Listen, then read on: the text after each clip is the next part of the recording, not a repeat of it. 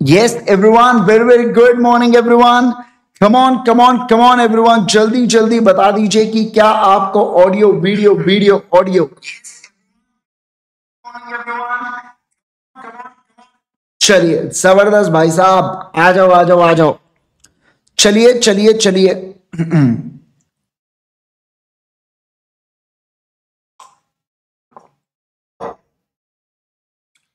all good video, audio all good जल्दी जल्दी बता दीजिए। यस चलो परफेक्ट है। आओ आओ आओ दोस्तों, बहुत बहुत स्वागत है आप सभी लोगों का इस अमेजिंग से वीडियो के अंदर। आज का हमारा होने वाला है बेटा डे फोर से रिलेटेड आज हमारी ये बातचीत होने वाली है। जहाँ पे हम लोग क्या करने वाले हैं? जहाँ पे हम लोग यहाँ पे बहुत सारी चीज़ों को हम लोग स्टडी करने वाले बहुत सारे अमेजिंग अमेजिंग कंसेप्ट को आज हम लोग यहाँ पे पढ़ने वाले हैं। फटाफट फटाफट सारे के सारे लोग आ जाएँगे आ जाएँगे जल्दी से। एक बार प्लीज़ मुझे ऑडियो वीडियो चेक दे दीजिए। परफेक्ट है ना? सब एकदम ऑडियो वीडियो मस्त आ रहे हैं ना? सब कुछ एकदम जोरदार आ रहा है ना बेटा? बोलो बोलो बोलो। एक मिनट मेरे को, मैं ही चेक कर लेता हूँ। क्या बात है यार, क्या मज़ा आ रहा है। बहुत ही जोरदार, बहुत ही प्यारा, एकदम ऐसी सुरसुरीली आवाज़ आ रही है, नहीं? चलिए, लेकिन जैसे कि आप जानते हैं, पहले अपन क्या करेंगे? पहले एकदम प्यारा मीठा मीठा रिविजन करवा देंगे आप मेरे को कल के पूरे टॉपिक्स का, ठीक है? चलिए सर, आ जाएँगे सारे के सारे लोग, पहले प्यार से करेंगे पूरे टॉपिक्स को रिवाइज एंड देन फिर उसके बाद हम लोग बढ़ेंगे आगे। आज हम लोगों को, बेटा, जो मैंने आपको क्वेश्चन दिया था दो दिन पहले, वो क्वेश्चन को आज हम लोगों को सॉल्व भी करना है यहाँ पे। ठीक है ना? आओ सर, सारे लोग ध्यान दीजिएगा देखो मैं क्या कह रहा हूँ। दोस्तों, हम लोग स्मॉल कंपनी के बारे में बात कर रहे थे। स्मॉल कंपनी का मतलब क्या होता है? स्मॉल कंपनी मतलब ऐसी प्राइवेट कंपनी जिसका पेड अप शेयर कैपिटल कितना कर दिया गया है? चार करोड़ रुपए कर दिया गया है और जिसका टर्नओवर कितना कर दिया गया है? चालीस करोड़ रुपए जिसका टर्नओवर कर दिया गया है। ऐसे कंपनी को बोला जाता है स्मॉल कंपनी में। मैंने क्या बताया? कि सर स्मॉल कंपनी मतलब ऐसी प्राइवेट कंपनी जिसका पेड अप शेयर कैपिटल चार करोड़ या उससे नीचे है, या जिसका टर्नओवर अगर चालीस करोड़ या उससे नीचे है, दोनों लिमिट जब अचीव होती है तो उस प्राइवेट कंपनी को हम लोग क्या कहते हैं? उस प्राइवेट कंपनी को हम लोग स्मॉल कंपनी कहते हैं। बोलो, क्या कहते हैं? स्मॉल कंपनी कहते हैं। फिर मैंने आपसे कहा था, तीन प्रकार की अगर आपको ऐसी कंपनीज़ दिख जाए तो आप इसे आप इसे स्मॉल का दर्जा मत देना। सर, अगर कोई कंपनी होल्डिंग या सब्सिडरी कंपनी है, या या कोई सेक्शन एट कंपनी या कोई भी ऐसी कंपनी जिसको सेंट्रल गवर्नमेंट कहती है कि भैया तू तो क्या कर ले, तू यहाँ पे मतलब अगर सेंट्रल गवर्नमेंट की प्रिस्क्राइब्ड कंपनी है तो इन सारे सिचुएशन के अंदर हम लोग कहेंगे कि, सर, ओ सर, बोलो ना, सर, इन केस के दरमियान हम लोग कहते हैं कि ये स्मॉल कंपनी बन सकते हैं क्या? नहीं, सर, ये स्मॉल कंपनी नहीं बन सकते हैं। फिर मैंने आपको प्रमोटर के बारे में बताया था। कल मैंने आपको याद है बताया था प्रमोटर मतलब ऐसा व्यक्ति होता है जो कंपनी को चलाता भी है और ये कंपनी को बनाता भी है। मैंने क्या कहा? कंपनी को बनाने वाला या कंपनी को चलाने वाला इसको प्रमोटर बोला जाता है। जैसे कि कंपनी को धीरूभाई अंबानी ने बनाया, लेकिन आज मुकेश अंबानी जी अगर उसको चला रहे हैं तो मैं कहूँगा मुकेश अंबानी जी भी क्या माने जाते हैं? प्रमोटर माने जाते हैं। बोलो, क्या माने जाते हैं? सारे लोग बोलेंगे, प्रमोटर माने जाते हैं। बोलो, क्या माने जाते हैं? प्रमोटर माने जाते हैं। फिर और एक बहुत ही प्यारा सा सेक्शन देखा था। सेक्शन नंबर थ्री पढ़ा था हम लोगों ने। सर सेक्शन नंबर थ्री में क्या पढ़ा था? सर कंपनी देखिए, तीन प्रकार की होती है limited by share limited by guarantee और अनलिमिटेड कंपनी सर ये तीनों कंपनीज़ पब्लिक प्राइवेट या ओपीसी कोई भी हो सकती है। सर मुझे एक बात बताइए पब्लिक कंपनी में कितने लोग लगते हैं पब्लिक कंपनी को बनाने के लिए? तो सात या उससे ज़्यादा लोग प्राइवेट में दो या उससे ज़्यादा लोग और ओपीसी की अगर मैं बात करूँ तो एक ही लगता है आपको। क्या कहा मैंने बोलो? एक ही लगता है आपको यहाँ पे बनाने के लिए। सर किसमें ओपीसी के अंदर ओपीसी को बनाने के लिए केवल एक ही मेंबर लगता है। ठीक है सर फिर अपन ने वन पर्सन कंपनी के बारे में पढ़ना स्टार्ट किया था। सर पेज नंबर 3.20 आपके मॉड्यूल पे दिया गया है। सर ओपीसी या वन पर्सन कंपनी का मतलब होता है ऐसी प्राइवेट कंपनी बेटा। यहाँ पे एक ही पर्सन सब्सक्राइब करता है एमओए को, यानी कि एक ही पर्सन मेंबर बनता है। इसी पर्सन का काम है बेटा कि कंप्लायंस ऑफ़ द एक्ट को करना। अब ये कौन व्यक्ति एलिजिबल होता है ओपीसी बनाने के लिए? तो अगर कोई व्यक्ति नेचुरल पर्सन है, वो इंडियन सिटीजन है, फिर वो रेसिडेंट ऑफ़ इंडिया हो या ना हो, और अगर वो पिछले फाइनेंशियल ईयर में 120 दिन या उससे ज़्यादा इंडिया में रह लेता है तो वो एक पर्सन एलिजिबल होता है ओपीसी बनाने के लिए। ठीक है ना? ओके सर ओपीसी क्या नहीं कर सकता? तो कल अपन ने देखा था ओपीसी सेक्शन एट या एनबीएफसी एक्टिविटीज़ को कैरी आउट नहीं कर सकता। फिर अपन ने ये देखा था कि ओपीसी का जो मेमोरेंडम ऑफ़ एसोसिएशन होता है, उसके अंदर आपको नॉमिनी का नाम मेंशन करना होता है। मतलब याद आ रहा है, आपको नॉमिनी का नाम आपको रखना पड़ेगा। जैसे श्रद्धा कपूर का यहाँ पे अपन ने नाम रखा था नॉमिनी का, ठीक है?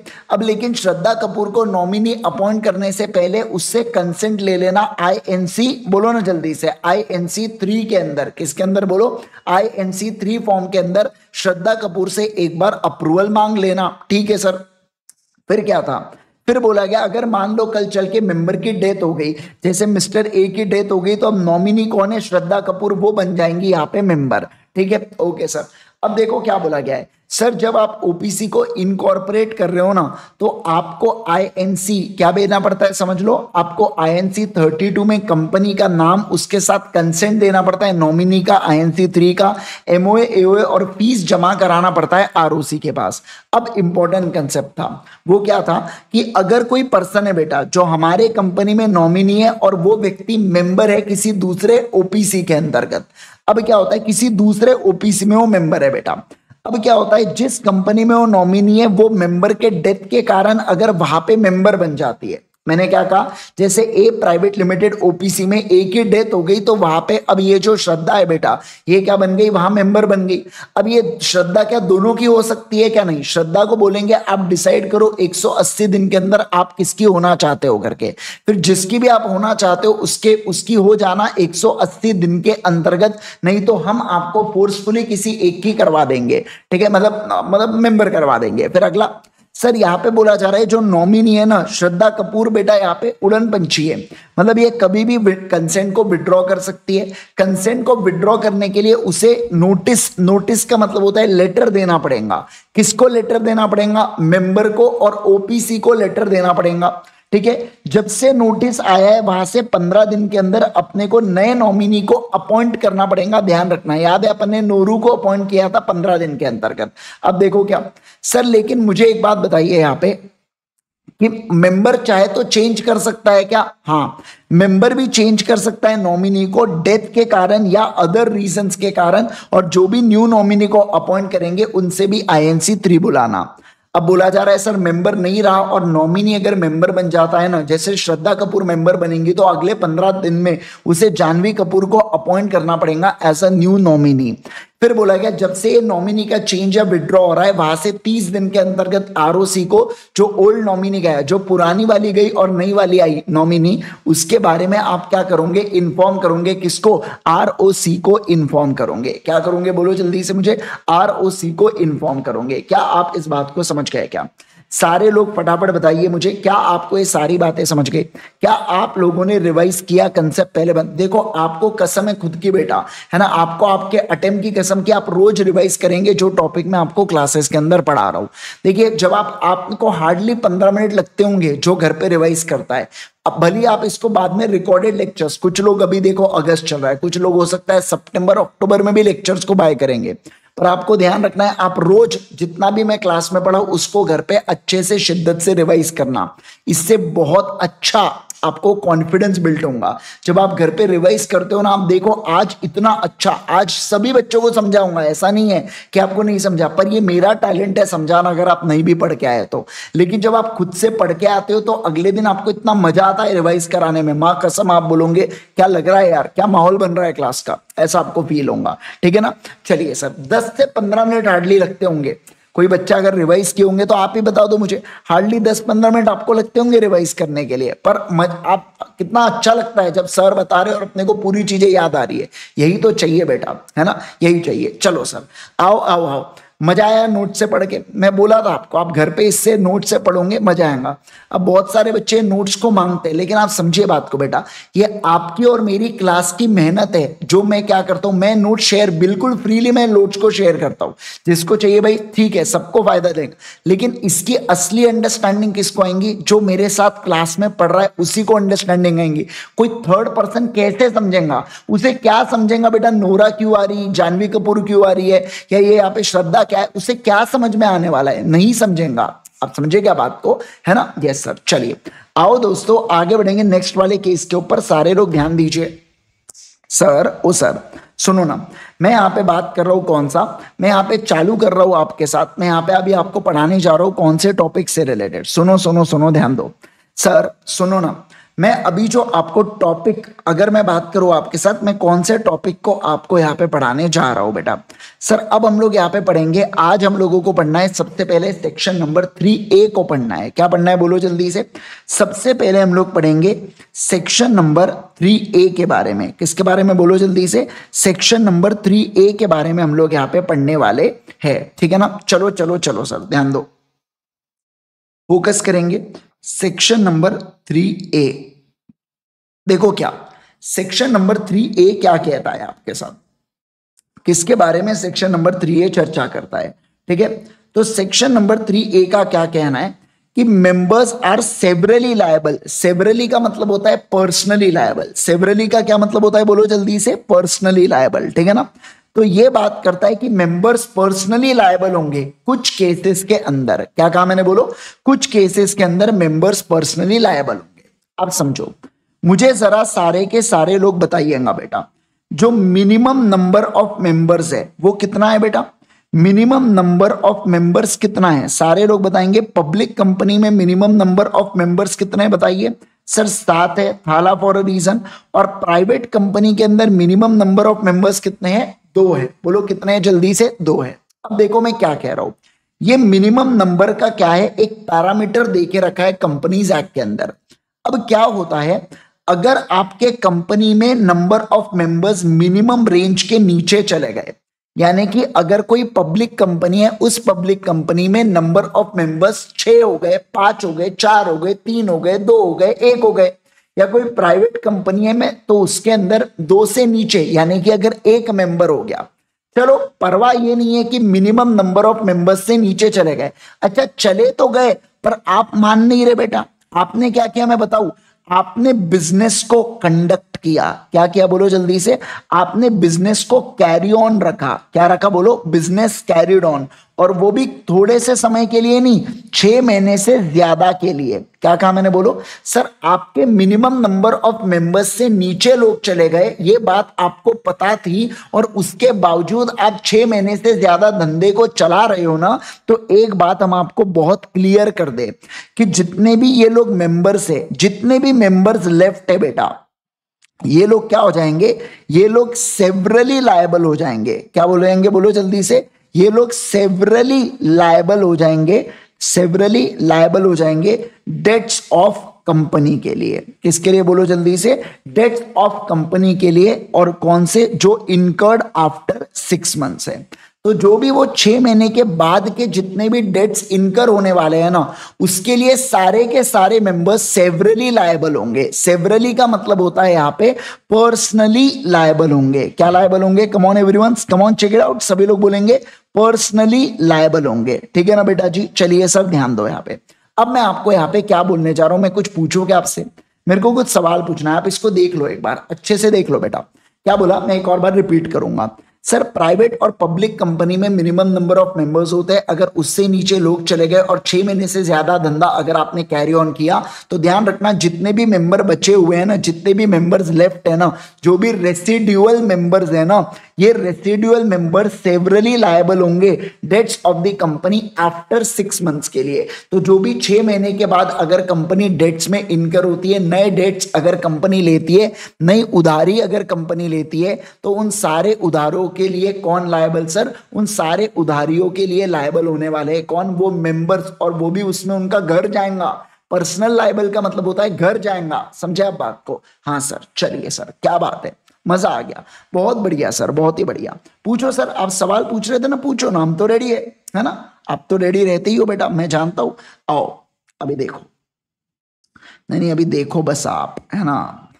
डे डे फोर ठीक है? आओ, ये जब मेरा ये चैप्टर कंप्लीट हो जाएगा ना तो ये वाले जो रफ नोट्स है, मैं वो भी भेज दूँगा फिर आप लोगों को। फिर मतलब आपके पास पूरे बुक पड़ी रहेंगे फिर, आपको जो करना है करना उसमें से। ठीक है? आइए सर अब ध्यान दो। कहा चले गया लेकिन ये? हाँ देखो डे फोर सुनो। दोस्तों, देखो, ये वो तारीख है बेटा, जहाँ पे ए लिमिटेड में जो सात लोग थे, उसमें से एक मेंबर की डेथ हो गई। तो अब कितने बचे बताइए मुझे जल्दी से? अब बैलेंस में छह लोग बचे। छह लोग मतलब A B C D E F ठीक है ना? ये बैलेंस बैलेंसिंग लोग मतलब होता है कि अब ये बचे हुए लोग कितने बचे? छह लोग बचे, ठीक है? अब यहाँ से है ना बेटा बिज़नेस कैरी ऑन चलते रहता है कंपनी का, ठीक है? ओके यहाँ पे क्या हो जाता है? यहाँ पे सिक्स मंथ्स ओवर हो जाते हैं। क्या हो जाता है? बोलो जल्दी से। सिक्स मंथ्स यहाँ पे ओवर हो जाते हैं। सिक्स मंथ ओवर हो जाते हैं, ठीक है? ओके इसके सुनो ना, यहाँ पे कंपनी ने सात लाख रुपए का डेट लिया था और यहाँ पे कंपनी ने बारह लाख रुपए का न्यू डेट लिया। क्या कहा मैंने बोलो? बारह लाख रुपए का न्यू डेट लिया। मैं आपसे पूछना चाहता हूँ, क्या इस सात लाख रुपए के लिए अगर कंपनी के पास पैसा नहीं है तो इन लोगों की पर्सनल लाइबिलिटी आने वाली है क्या? पहला, ए पॉइंट बोल रहा है, क्या इसमें पर्सनल लाइबिलिटी आने वाली है क्या? और दूसरा, क्या बी पॉइंट में पर्सनल लाइबिलिटी आने वाली है क्या? देखो, बताओ मुझे जल्दी जल्दी। क्या ए वाला केस ए वाले केस यानी कि सात लाख रुपए में पर्सनल लाइबिलिटी आएँगी क्या? और बी वाले केस यानी कि बारह लाख रुपए में पर्सनल लाइबिलिटी आने वाली है क्या? फटाफट बताइए। जल्दी से बताइए मुझे, जल्दी जल्दी बताइए मुझे। बिल्कुल सही कह रहे हैं आप सारे के सारे लोग। सर, सात लाख रुपए के लिए पर्सनल लाइबिलिटी नहीं आएँगी। हाँ लेकिन बारह लाख के लिए पर्सनल लाइबिलिटी आने वाली है, क्योंकि यहाँ पे बहुत क्लियर कट लिखा हुआ है कि इनकी सेवरल लाइबिलिटी आने वाली है of the company after six month समझ रहे क्या बात को? ऐसे डेट्स कंपनी के बेटा, ऐसे कंपनी के डेट्स ना, जो क्या है आफ्टर सिक्स मंथ्स वाले है ना आफ्टर सिक्स मंथ वाले हैं ना, उसके बारे में इनकी सर्टन लाइबिलिटी आने वाली है क्या? बिल्कुल बिल्कुल सर, बाकी केसेस में इनकी लाइबिलिटी नहीं आने वाली है। मतलब यहाँ तक के लिए वो लिमिटेड ही लाइबल होंगे। छह महीने एंड होने तक के लिए उनकी लाइबिलिटी लिमिटेड है बट उसके बाद के सारे डेट्स के लिए उनकी लाइबिलिटी अनलिमिटेड यानी कि अब उनको घर से पैसा लाना पड़ेगा उन डेट्स को चुकता करने के लिए। बराबर है? क्या सारे लोगों को ये माइंड भेजे में गई क्या? मतलब माइंड में गया क्या? सभी लोग बताओ। Clear absolutely clear yes sir चलिए, आ जाओ मॉड्यूल के ऊपर। सारे लोग देखो क्या लिखा जा रहा है वैसे तो मेंबर्स की लाइबिलिटी क्या होती है? जॉइंट लाइबिलिटी होती है और लिमिटेड लाइबिलिटी होती है। ओके यस सर अब देखो क्या। But they shall be severally liable severally का मतलब क्या होता है? Personally liable for the payment of debts of company and may be severally sued therefor इसलिए क्या बोला? क्या देखो यहाँ पे। सर जो पर्सन है ना, वो सेवरली यानी कि इंडिविजुअली यहाँ पे लाइबल होते हैं। और सर ध्यान रखना, वो उनको अलग से केस उनके ऊपर किया जा सकता है या उनको स्यू किया जा सकता है अलग से, बिल्कुल। ठीक है? देखो The number of members is if reduced below 7 or 2 in case of public or private company respectively and the company carries on business for more than 6 months with such reduced number and every such person who carries on the business after 6 months is cognizant cognizant का मतलब क्या होता है ऐसा व्यक्ति जिसको इस fact के बारे में पता है मान लो सर, उसमें छह लोग थे। छह में से अगर पाँच को पता होता ना तो पाँच लोग पर्सनल लायबल होते। बराबर है क्या? तो कॉग्निजेंट ऑफ़ द फैक्ट तो ऐसा मेंबर जिसको फैक्ट के बारे में पता है सर, वो क्या रहने वाला है बताइए मुझे जल्दी से। वो पर्सनली लाइबल रहने वाला है। क्या रहने वाला है बोलो जल्दी से। पर्सनली लाइबल रहने वाला है। ठीक है ना? Yes sir such members are liable for the payment of whole of the debts contracted during that time that is after the elapse of six months तो छह महीने कंप्लीट होने के बाद जितने भी डेट्स होंगे बेटा, और जिन जिन लोगों को इस फैक्ट के बारे में पता होगा, वो सारे के सारे क्या होंगे? सारे के सारे लाइबल हो जाने वाले है। क्या होने वाले बोलो? वो सारे के सारे लायबल होने वाले है। ठीक है? चलो आगे बढ़ो क्या मैं? सभी लोग बताएँगे मुझे जल्दी से क्या मैं आगे बढ़ूँगा ये एग्ज़ाम्पल थोड़ा सा देख लो बेटा यहाँ पे। एग्ज़ाम्पल पढ़ेंगे सारे लोग। जो मैंने आपको बताया एग्ज़ाम्पल पढ़ेंगे। पढ़ापट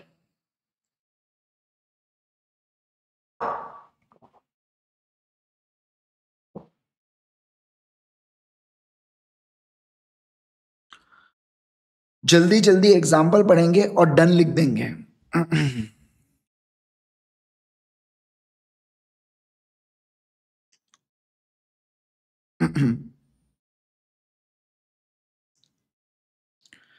शाजिया, ये तो बहुत ही कॉमन सेंस की बात है बेटा, कि यहाँ पे जब लिख रहा है कि जो व्यक्ति को अवेयर है फैक्ट्स के बारे में, वो लायबल है। तो इसका दूसरा मतलब क्या होगा कि जिसको पता नहीं है, वो लायबल होने वाला है क्या? मेरे हिसाब से काफ़ी कॉमन सेंस वाली बात है। है ना? यस सर सर क्या असेट्स है कंपनी की? फिर भी लाए बेटा लाइबिलिटी तभी आती है मेंबर्स की जब असेट कम पड़ते हैं। अगर असेट ही पूरे पड़ेंगे तो लाइबिलिटी कैसे आएँगे? अब सोच के देखो। पहले क्या होता है, अगर डेट्स है, अब सोच के सुनो ना, मैं क्या बोल रहा हूँ, सुनो सुनो। देखो, अगर डेट्स है बेटा, ठीक है ना? डेट्स है। तो मुझे बताइए, सबसे पहले क्या होंगे? कंपनी के जो असेट होंगे, वो उसके तरफ़ लाइबल है। ठीक है? मुद्दा कब उठेगा? जब ये जो असेट्स है ना, ये अगर अपने को कम पड़ गए बेटा, क्या पड़ गए? बोलो ना, ये कम पड़ गए। तो मुद्दा है ना कि अब पैसा कहाँ से लाना? तो ऐसे सिचुएशन में बोला है कि मेंबर्स लोग पर्सनली लाइबल रहने वाले है। ठीक है? चलिए सर, आ जाओ आ जाओ आ जाओ सारे लोग। अगले पॉइंट के ऊपर चलेंगे, ध्यान दीजिएगा फोकस करना। और अगला पॉइंट क्या है? अब ये पॉइंट तो आपने पढ़ा हुआ है सेक्शन नंबर सेवन यानी कि सर किसके बारे में? सर इनकॉर्पोरेशन ऑफ़ कंपनी के बारे में। अच्छा ये बात ध्यान दो यहाँ पे। यहाँ पे है ना, सुनो सुनो सुनो। यहाँ पे एक काम करो, यहाँ पे ऐसा लिखो। Who are cognizant of fact? Sir, ये कैसे पता चलेगा?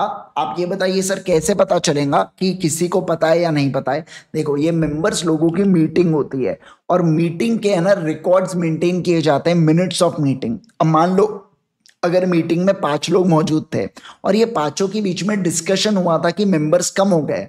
अब हमारे पास एक मेंबर कब है पब्लिक कंपनी में? मतलब पाँच मेंबर्स को पता था और वो एक मेंबर जो एबसेंट होगा मीटिंग में, उसको नहीं पता है। है ना? तो ऐसे कुछ कुछ चीज़ें कहीं ना कहीं रिकॉर्ड्स आपको मिल जाते हैं, कोई ना कोई कम्युनिकेशन आपको मिल जाते हैं तो उसके रिगार्डिंग आपको पता चल जाएगा। और जब तक नहीं पकड़ा जाए बेटा, तब तक तो हर कोई मतलब ये होता है ना मतलब यू आर मतलब क्रिमिनल तभी बनता है जब यू आर प्रूवन गिल्टी जब तक आप प्रूव नहीं होते हो guilty you are not a criminal ठीक है? ऐसा। चलिए सर, आओ सारे लोग ध्यान देना। अब सुनो सुनो सुनो। दोस्तों, अगर हम लोग बात करें आपके स्लीपिंग मेंबर जैसा इस दुनिया में कभी कोई कंसेप्ट नहीं आया बेटा प्लीज़ ऐसे मत टाइप करो, निर्मला सीतारमन जी कूद जाएँगे दूसरे फ्लोर से, है ना? ऐसा मत करो। आज तक कभी ऐसा कोई कंसेप्ट नहीं आया स्लीपिंग मेंबर है ना? चलो, आओ। दोस्तों, सारे लोग ध्यान दीजिएगा, मैं क्या कह रहा हूँ यहाँ पे।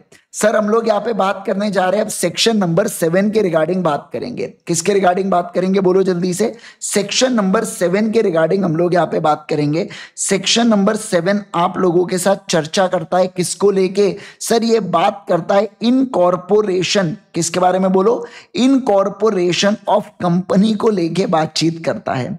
मतलब कि सर मुझे एक बात बताइए। अगर मैं कंपनी को ओपन करना चाहता हूँ, मैं इंडिया में कंपनी को बनाना चाहता चाहता हूँ। तो मैं किस तरीके से इनकॉर्पोरेट करूँगा? मैं क्या क्या करूँगा जिसकी मदद से मेरी कंपनी इनकॉर्पोरेट हो जाएँगी? उसके बारे में मैं आपको यहाँ पे बताने जा रहा हूँ। सारे लोग समझ रहे क्या?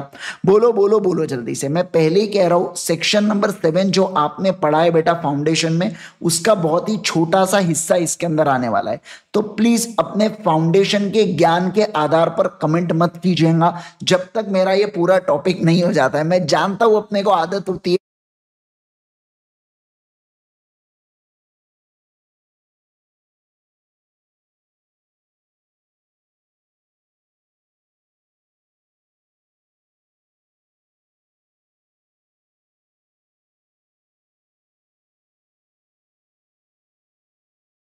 सॉरी सॉरी हाँ अरे वो यहाँ पे टच हो गया यार, वो इस, ये यार, ये माइक का ये प्रोडक्ट टच हुआ तो माइक बंद हो जाता। अलग ही इनके कुछ तो भी नख रहे हैं, बहुत ही फालतू, है ना? आओ, चलो चलो चलो सर आओ ध्यान दो यहाँ पे।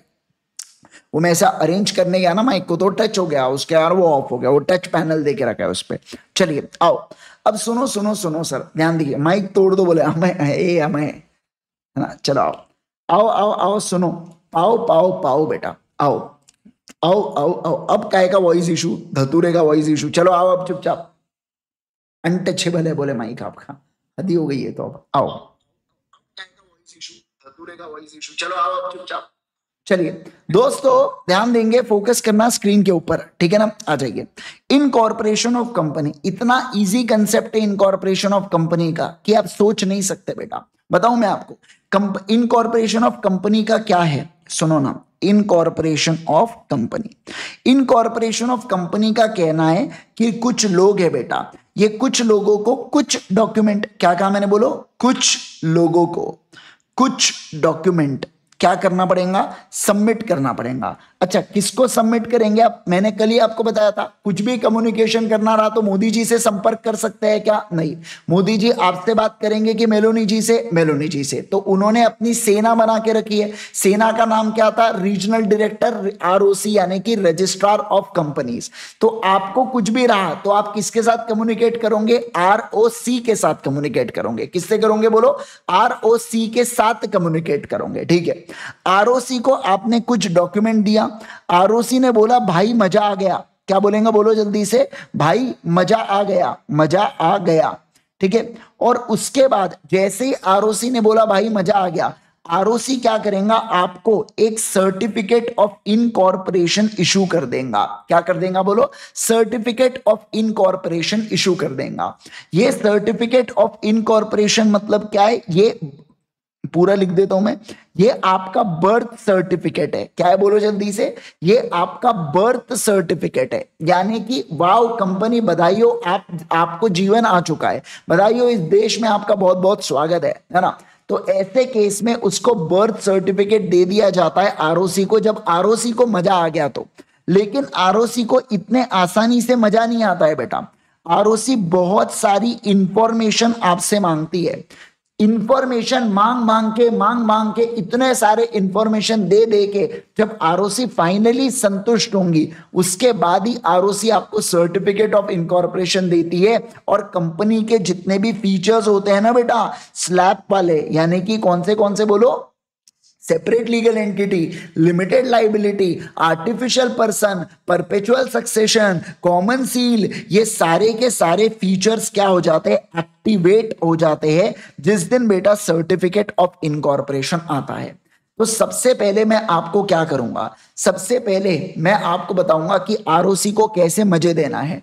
मतलब मतलब मैं कह रहा हूँ कि आपको कौन से कौन से डॉक्यूमेंट फ़ाइल करना है आरओसी के पास, ताकि आरओसी आपको मना ना कर सके कंपनी इनकॉर्पोरेट करने से। ठीक है ना? चलिए सर तो देखो मैंने क्या कहा।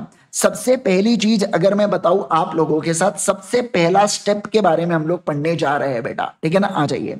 पहला स्टेप क्या कहता है कि आप सभी लोग जानते हो, कल याद है आपको पढ़ा था, अपन ने प्रमोटर करके एक शब्द पढ़े थे। तो प्रमोटर मतलब ऐसा व्यक्ति होता है जो कंपनी को बनाने के लिए नेसेसरी स्टेप्स लेता है। क्या लेता है बोलो? नेसेसरी स्टेप्स लेता है। तो प्रमोटर क्या करेगा?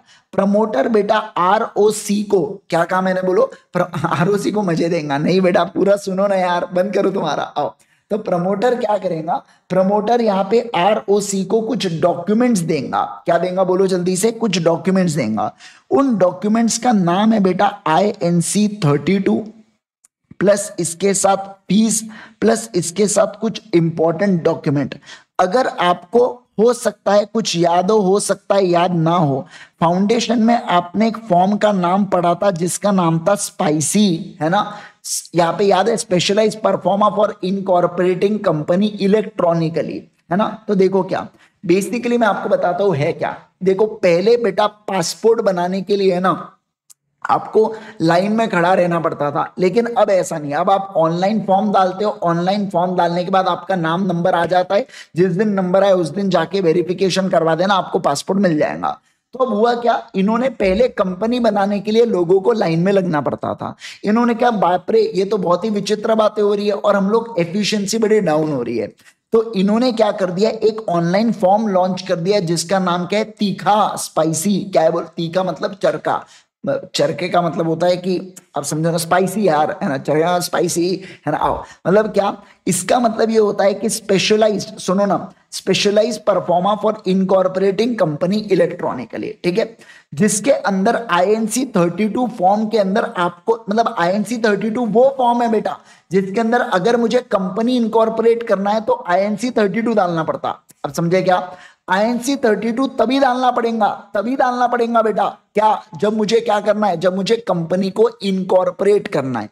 अब आप जानते हो बेटा, अगर तुम्हारे जेब में पैसा है तो आरओसी बोलेंगी मेरा बाबू कैसा है तो ऐसे केस में आपसे क्या मांगेंगी? फ़ीस मांगेंगी। काम कर रही है ना वो? और उसके बाद कुछ अलग अलग डॉक्यूमेंट्स भी मांगेंगी। ठीक है? ओके सर अच्छा परफेक्ट है।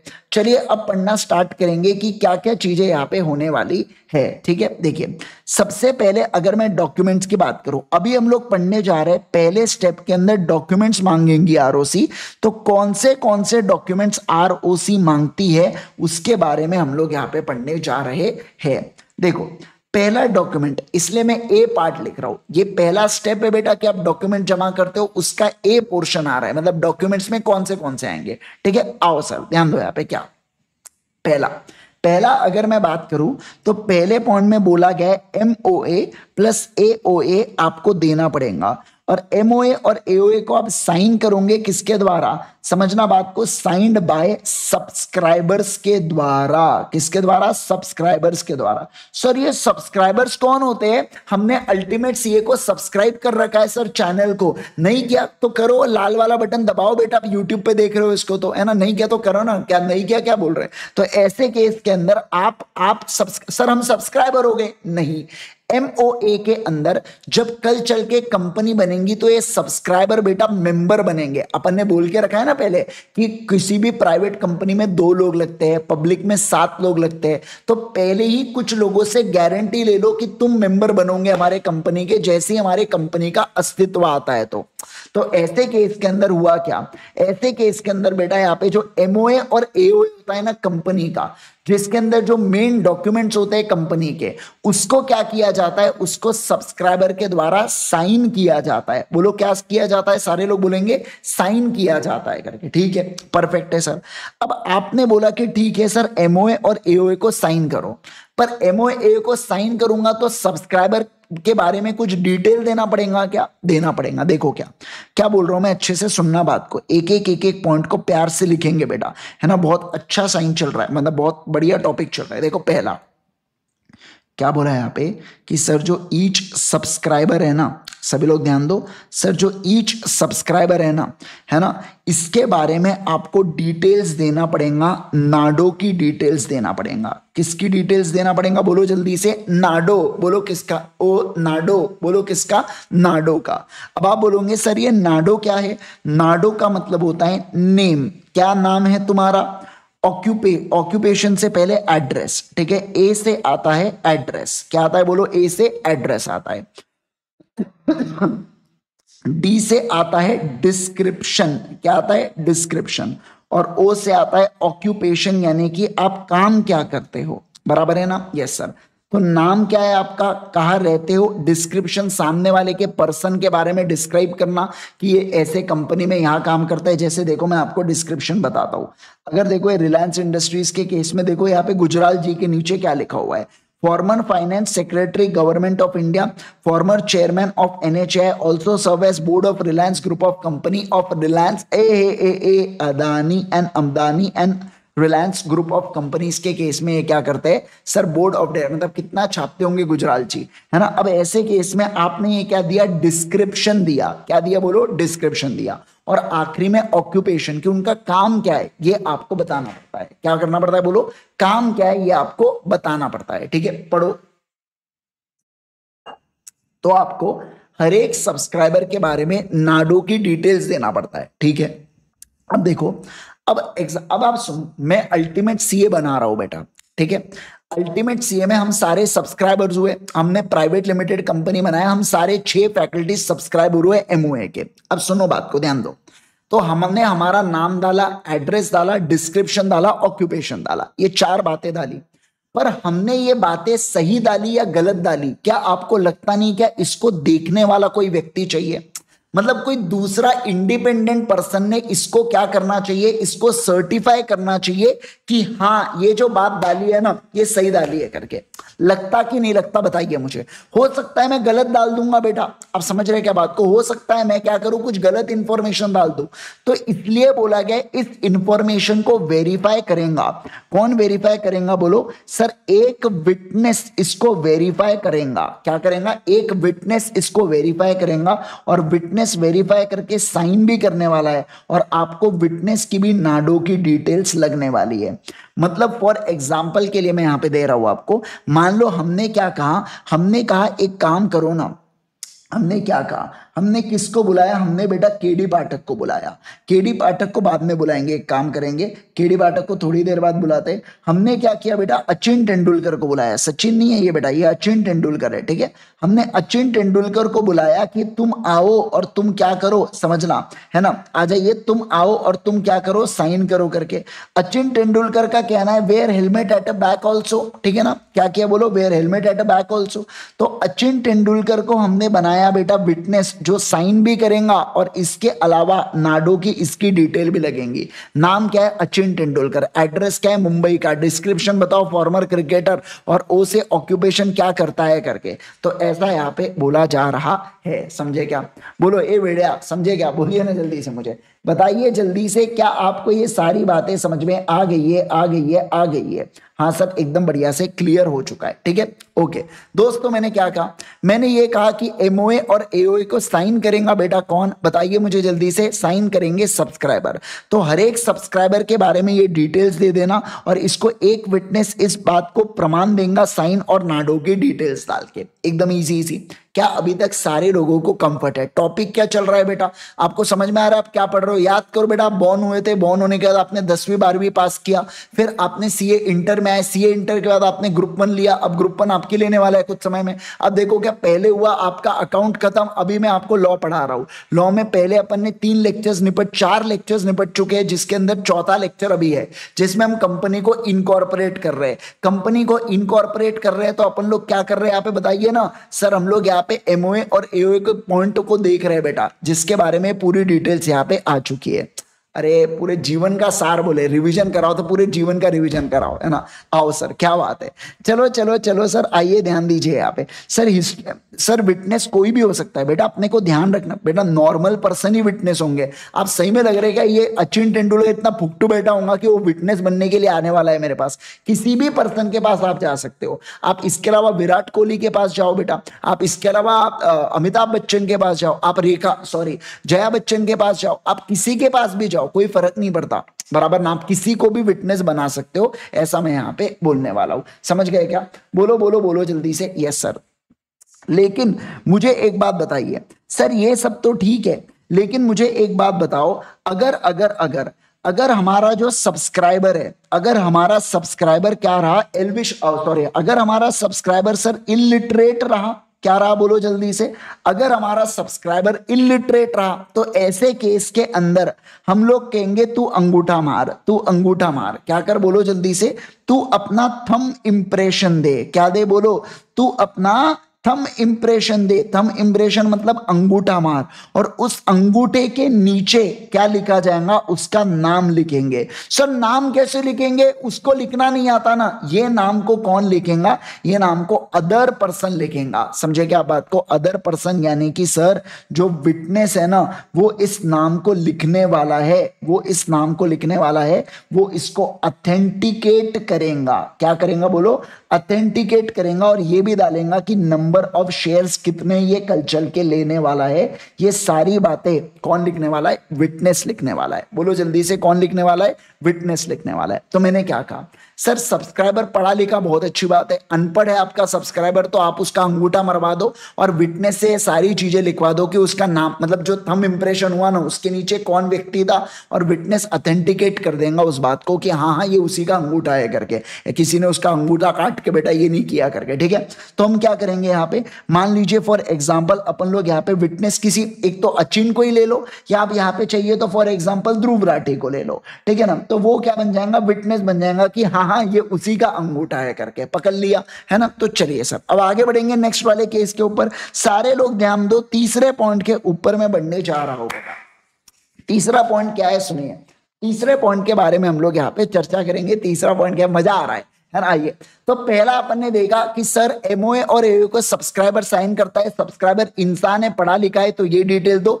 वो सेकंड में भी इंसान है, लेकिन पढ़ा लिखा नहीं है तो ये डिटेल दो। लेकिन सर, मुझे एक बात बताओ कि कंपनी के अंदर मेंबर तो बॉडी कॉर्पोरेट भी हो सकता है। मतलब एक कंपनी भी तो दूसरे कंपनी के अंदर मेंबर बन सकती है।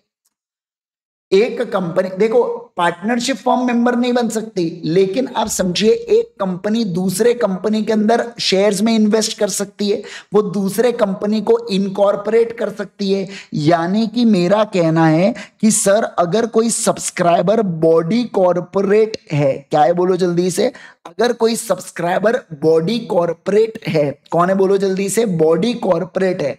तो ऐसे केस में समझो, इस बॉडी कॉर्पोरेट का कोई भी डायरेक्टर क्या कहा मैंने बोलो? कोई भी डायरेक्टर या कोई ऑफिसर या कोई एम्प्लॉय सभी लोग ध्यान दो। सर, कोई डायरेक्टर ऑफिसर या एम्प्लॉय जिसको बोर्ड ने अथोराइज किया है, क्या किया है बोलो?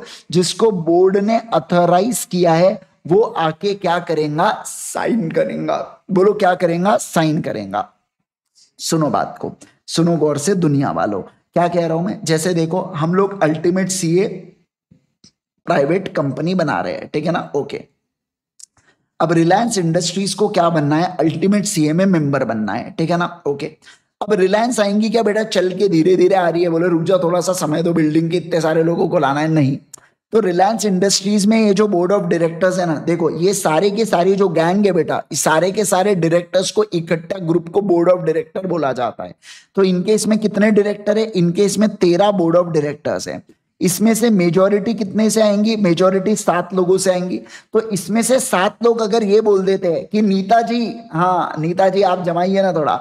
आप जाइए क्या कहा मैंने? बोलो जल्दी से। इनमें से सात लोगों ने क्या कहा कि, नीता जी, आप क्या करेंगे? हमारे बियाफ में साइन करेंगे, हमें कोई तकलीफ़ नहीं है। आप हमारे बियाफ में करिए ना साइन है ना? तो हमें कोई तकलीफ़ नहीं है, आप बिंदास करो। तो यहाँ पे क्या हुआ? सर, कोई भी डायरेक्टर ऑफिसर या किसी भी एम्प्लॉय को बोर्ड अथोराइज कर सकता है बेटा। अथोराइज कर सकता है कि आप क्या करो? आप साइन करो करके। क्या करो बोलो? जल्दी से साइन करो। तो अब देखो, रिलायंस के बिहाफ में साइन कौन करेगा? नीता अंबानी करेंगे। कौन करेंगे बोलो? नीता अंबानी करेंगे। अगर मैं कल क्लास नहीं ले पाया बेटा ड्यू टू इंटरनेट इश्यूज़ तो समझ जाना बात को कि क्या हुआ है करके। ठीक है ना? द रीजन यू नो ठीक है? आओ। तो मैंने क्या कहा? मैंने ये कहा कि अगर सर बॉडी कॉर्पोरेट है बॉडी कॉर्पोरेट के अंदर क्या होगा? डायरेक्टर ऑफिसर और एम्प्लॉय को, है ना बोर्ड अथोराइज करेगा। बोर्ड डिसीज़न लेगा मेजोरिटी से कि कौन से पर्सन को हमारे बिहाफ में साइन करने में देना है। कहाँ पे देना है बोलो? सर एमओए और एओए के सब्सक्राइबर्स के अंदर साइन करने के लिए बात की जा रही है। बराबर है ना? यस सर चलिए। आओ ध्यान दो। सर, कल तो छुट्टी ओम भावुक हो गया बेटा। है ना? ओम बहुत ही ज़्यादा भावुक है कल मतलब ओम ने एग्जैक्टली कल ले लिया। मैं जब भी सैटरडे को कल बोलूँ तो संडे समझ लेना। जब तक मैं ये ना बोलूँ कि इस संडे क्लास है है ना? अच्छा आपको पंद्रह अगस्त को छुट्टी चाहिए क्या? तो पंद्रह अगस्त को मैं नहीं दूँगा, क्योंकि फिर आप रक्षाबंधन को छुट्टी ले लेना नाइनटीन को। है ना? उस दिन मेजरली बाहर जाना होता है। पंद्रह अगस्त को आपको कहीं नहीं जाना होता है। चुपचाप आ जाना क्लास को। और हाँ फिर आप क्या करना? नाइनटीन अगस्त को रक्षाबंधन आ रहा है। तब आप छुट्टी ले लेना। ठीक है? यस सर चलो। परफेक्ट है। ओके सर चलिए, सारे के सारे लोग आ जाएँगे। अब मैं अगर बात करूँ आपके साथ, किसके बारे में सर बात करेंगे हम लोग? देखो देखो देखो। सर बॉडी कॉर्पोरेट हुआ, ये भी समाप्त हुआ। सर ऐसा भी तो हो सकता है ना? क्या हो सकता है? बोलो जल्दी से। ऐसा भी तो हो सकता है, सर, कि एक एल एल पी क्या कहा मैंने बोलो? सर, ऐसा भी हो सकता है कि एल एल पी क्या बन रही हो? एल एल पी बन रही हो हमारे सब्सक्राइबर ऑफ़ एमओए पी हमारे कंपनी में सब्सक्राइबर बन रही हो, ऐसा हो सकता है ना? बिल्कुल हो सकता है। तो अब सर एल एल पी कैसे साइन करेंगे? कोई बात नहीं। एल एल पी में से अपन लोग क्या कहेंगे? अपन लोग कहेंगे कि पार्टनर क्या होगा पार्टनर अलग होगा जो ड्यूली अथोराइज किया जाएगा duly authorise by all partner क्या कहा मैंने बोलो? Duly authorise by all partner ऐसा भी पार्टनर होगा जिसको बाकी पार्टनर्स अथोराइज करेंगे। ठीक है ना? जैसे आपने एक कंसेप्ट सुना होगा डेजिग्नेटेड पार्टनर का। नॉर्मली डेजिग्नेटेड पार्टनर ही बन जाता है, जो साइन कर देता है बेटा। एमओए में ठीक है ना? तो ऐसे केस में एलएलपी के केस में ऐसा पार्टनर जिसको बाकी पार्टनर्स मिलके अथोराइज करेंगे, वो व्यक्ति क्या करने वाला है? वो व्यक्ति यहाँ पे साइन करने वाला है। बोलो मुझे जल्दी से, वो व्यक्ति क्या करने वाला है यहाँ पे साइन करने वाला है। क्या आप इस बात को समझे क्या? सारे लोग जल्दी से बताइए मुझे, क्या आप इस बात को एकदम क्लियर क्लियर सभी लोग ऑनेस्टली बोलेंगे, क्या आपको एकदम क्रिस्टल क्लियर है क्या कंसेप्ट अपने को पता होना चाहिए कहाँ पे क्या? सर, मुझे याद नहीं आ रहा, अपन ने क्या पढ़ा? वो भूल जाओ। आपको ये समझ रहा है क्या क्या पढ़ रहे हो आप करके। ये ज़्यादा ज़रूरी है। याद कैसे करना, वो दूसरा पोजीशन है बेटा। पहले आपको ये समझ रहा है ना कंसेप्चुअल क्लैरिटी आपको मिल रही है, क्या मैं कंपनी में बात कर रहा हूँ, कब की बात कर रहा हूँ, जब कंपनी में बनाने जा रहा हूँ, तब की बात कर रहा हूँ। और कब, बताइए मुझे, मैं डॉक्यूमेंट सबमिट कर रहा हूँ। डॉक्यूमेंट सबमिट कर रहा हूँ तो साइन करवाना है। तो किन किन से साइन करवाना, किस किस से साइन कराऊ, उसके बारे में यहाँ पे बातचीत की जा रही है। ठीक है ना, सर? आ जाइए। चलो, आगे बढ़ूँगा मैं। सर सब्सक्राइबर इलिटरेट है। बेटा, ये मतलब नहीं समझा। इलिटरेट का मतलब होता है जिसको पढ़ना लिखना नहीं आता। पढ़ना लिखना नहीं आता तो साइन नहीं कर पाएगा, नाम नहीं लिख पाएगा। तो ऐसे केस में उसका अंगूठा मरवा लो और किसी विटनेस से उसके अंगूठे के नीचे नाम लिखवा लेना और कितने शेयर वो लेने वाला है, वो वहाँ पे लिखवा देना। बस ऐसी बातें यहाँ पे की जा रही है। ठीक है? चलिए सर, आओ। सर एलएलपी में ऑल नहीं एग्री करेंगे तो मेजोरिटी चलेंगे। ना जी, ना ऑल एग्री जब मैंने यहाँ पे लिख दिया ऑल मतलब इसलिए तो देखो मार्क भी किया। ऑल पार्टनर्स के द्वारा वो अथराइज होना चाहिए, क्योंकि इंपॉर्टेंट बात है, अगत्य की बात है। तो सारे पार्टनर्स वैसे एग्री करेंगे ही करेंगे। नहीं करेंगे तो हम एलएलपी को मेंबर ही नहीं बनाएँगे, है ना? आओ सर चलो, अब ध्यान दो क्या? अब सर बात किया जा रहा है यहाँ पे। अब जो मैं बात कर रहा हूँ ना, बहुत खतरनाक बात कर रहा हूँ बेटा मैं। मैं यहाँ पे बात कर रहा हूँ फॉरेनर के बारे में। किसके बारे में? बोलो फॉरेनर के बारे में। फॉरेन नेशनल ऐसे व्यक्ति के बारे में जो फॉरेन नेशनल है और जो रिसाइड करता है बेटा। कहाँ पे रिसाइड करता है बोलो? ये आउटसाइड इंडिया रिसाइड करता है। आउटसाइड इंडिया का मतलब क्या है? सर, ऐसा पर्सन जो इंडिया के बाहर रहता है, फिर से बोलूँगा मैं आपको। सर, ऐसा पर्सन जो इंडिया के बाहर रहता है, मैं उसके बारे में बात करूँगा, ठीक है? देखो सर, जैसे जैसे जैसे अगर हम लोग बात करें, अरे, रे रे रे, ये कल वाले एग्ज़ाम्पल के आगे बेटा है ना? रियान पराग मूवमेंट मत समझना तुम। चलो, आप, मैं बात करूँगा किसके बारे में? बिल के बारे में हम लोग बात करेंगे। बिल आ जाओ, आप हमारे आईपैड में। चलो, अब देखो ये मैं क्या कह रहा हूँ आपसे? मैं ये कह रहा हूँ आपके साथ कि ये जो बिलगेट्स है ना, ये बिलगेट्स बेटा क्या करना चाहता है बताइए जल्दी से। ये बिलगेट्स बनना चाहता है हमारे कंपनी के अंदर। बिलगेट्स का कहना है कि मैं अल्टीमेट सीए में बनना चाहता हूँ क्या? सब्सक्राइबर बनना चाहता हूँ। मैंने कहा, ओ बिलगेट्स ऐसी बात है क्या? अच्छा अच्छा अच्छा। अच्छा ऐसी बात है क्या तुम्हारी? ठीक है, अब क्या बोलू मैं बिलगेट्स को, है ना? आओ, अब ध्यान दो। अब ये जो बिलगेट्स है बिलगेट्स में, अब ऐसा समझिए, मैं क्या करूँगा? सबसे पहले इसकी सिग्नेचर लूँगा, फिर इसका एड्रेस मांगूँगा और फिर उसके बाद प्रूफ ऑफ़ आइडेंटिटी, कि तुम कहाँ के रहने वाले हो, प्रूफ ऑफ़ आइडेंटिटी भी मांगूँगा। एड्रेस ये अपना यूएसए का देंगे और प्रूफ ऑफ़ आइडेंटिटी, जैसे हमारे यहाँ पे आधार कार्ड चलता है बेटा, वैसे वहाँ पे ग्रीन कार्ड चलता है। तो मैं बताऊँगा, चल बता, तेरी प्रूफ ऑफ़ आइडेंटिटी वगैरह देखा जल्दी से, है ना? यस सर ठीक है? अब ये जो चीज़ है ना, इसको बेटा कोई, अब समझना, यहाँ पे कोई विटनेस नहीं आएगा इसको देखने के लिए। इसको देखेगा कौन, मैं बताऊँ? इसको ये बात को नोटराइज करवाना पड़ेगा। क्या करवाना पड़ेगा? नोटराइज अब आप बोलोगे, सर नोटराइज का मतलब क्या होता है? तो देखो गवर्नमेंट के कुछ नोटरी ऑफ़िस होते हैं, या कुछ नोटरी ऑफिसर्स होते हैं, जो ये नोटराइजिंग का काम करते हैं।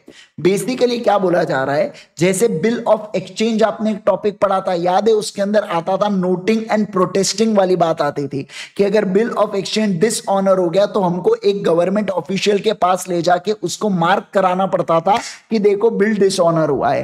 ठीक उसी प्रकार से वो जो नोटरी पब्लिक होता है ना, ये बिलगेट्स वो नोटरी पब्लिक के पास जाएँगे, उसके सामने साइन एड्रेस और प्रूफ ऑफ़ आइडेंटिटी वाली चीज़ें देंगे और वो उसके ऊपर ठप्पा मारेगा कि हाँ मैंने देखा हूँ, मैंने देखा हूँ, मैंने देखा हूँ बिलगेट्स आया था और बोला था, वन चाय प्लीज़ गलम है गलम है। तो सुनो ना बात को ऐसे केस के अंदर सुनिए ना, यहाँ पे मेरा ये कहना है कि सर, साइन एड्रेस और प्रूफ ऑफ़ आइडेंटिटी को नोटराइज करवाना पड़ेगा। नोटरी के सामने, क्या कहा मैंने बोलो जल्दी से? नोटरी के सामने नोटरी के सामने सर, ये चीज़ें आपको करवाना पड़ेगा। बराबर है? ओके मतलब आप ये कह रहे हो सर कि नोटरी अथेंटिकेट करेगा क्या? हाँ सर, ये जो नोटराइज वाला बंदा है ना, ये अथेंटिकेट करेगा। ये क्या करेगा बोलो? ये अथेंटिकेट अथेंटिकेट का मतलब होता है ये एग्री करेगा उस बात को, ऐसा मैं यहाँ पे बोल रहा हूँ, ठीक है? आ जाओ, क्या मैं आगे बढ़ू? बोलो जल्दी से मुझे, क्या मैं यहाँ पे आगे बढ़ू क्या? सारे लोग बताएँगे जल्दी से, है ना? यस सर चलो, अब ध्यान दो। अब मैं आपके साथ क्या कह रहा हूँ? अब मैं आपके साथ कह रहा हूँ कि कभी कभार अगर मान लो कोई फॉरेन नेशनल है, क्या कहा मैंने बोलो? अच्छा ये बिलगेट्स को थोड़ा सा बिलगेट जी, आप थोड़ा सा इधर आ जाइए, ठीक है ना? आओ, आप इधर आ जाओ बिलगेट जी, ठीक है? आओ। तो इसके बारे में बात किया। लेकिन सर, मान लो कोई फॉरेन का, कोई फॉरेन नेशनल है बेटा, कोई भी फॉरेन नेशनल है, कोई बाहर का व्यक्ति है, ठीक है ना?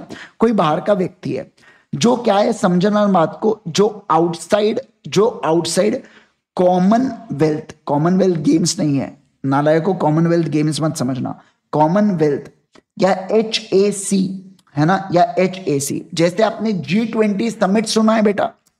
सुने होंगे ना आपने जी ट्वेंटी समिट आप समझिए वैसे ही अपने देशों का कॉमनवेल्थ या एच ए सी ऐसा बना के रखा है। मतलब जिनके ऐस, आप ऐसा समझो ऐसे देश जिनका इंडिया के साथ कॉपरेशन चलता है बेटा। क्या चलता है? कॉपरेशन चलता है। अगर वो कॉपरेशन वाली कंट्रीज़ है तो आप क्या करना? आप उनके साथ ये सारी चीज़ें करना। क्या कह रहा हूँ मैं? ये सारी चीज़ें करना। लेकिन आउटसाइड दी कॉपरेशन वाली कंट्रीज़ है। जैसे कि एक तुम नाम क्या लोग जान दो बगल में ही बैठा है अपने, है ना? तो अगर मैं कहूँ आपके साथ तो सर नॉन कॉपरेट वाली कंट्रीज़ है ना तो उन केस के अंदर मैं बताऊ आपको। अगर वहाँ के कोई लोग है तो उनको भी नोटराइज करके अथेंटिकेट तो करवाना पड़ेगा नोटरी से। लेकिन वहाँ पे मैं बताऊ, वहाँ पे आपको एक एडिशनल परमिशन लगेंगी। और वो एडिशनल परमिशन किसकी लगेंगी? बताओ, बोलो बोलू बोलू बोलू, सर, वो एडिशनल परमिशन लगेंगी। डिप्लोमैटिक क्या कहा मैंने बोलो? Diplomatic and consular officer and consular officer जो कौन से मिनिस्ट्री में आता है? ये आता है बेटा मिनिस्ट्री ऑफ़ एक्सटर्नल अफेयर्स कौन है मिनिस्ट्री ऑफ़ एक्सटर्नल अफेयर्स के मिनिस्टर कौन है? बताइए मेरे को जल्दी से। मिनिस्टर ऑफ़ एक्सटर्नल अफेयर कौन है अपना? है ना, बताइए। एकदम हैंडसम अंक, बताइए कौन? बोलो बोलो कमेंट करो। जो बेसिकली वीज़ा को इशू करता है ना, वो ऑफिसर के बारे में बात कर रहा है। जो वीज़ा को इशू करता है तो उसकी परमिशन लगेंगे। बिल्कुल सही कह रहे हैं आप, जयशंकर। है ना तो देखिए, जयशंकर जी, बिल्कुल सही। आओ देखो मैंने क्या कहा। सर, अगर हमारे कॉपरेटिव वाले कंट्री का पार्ट है तो ये तीन चीज़ करके और नोटराइज करके काम बन जाएगा।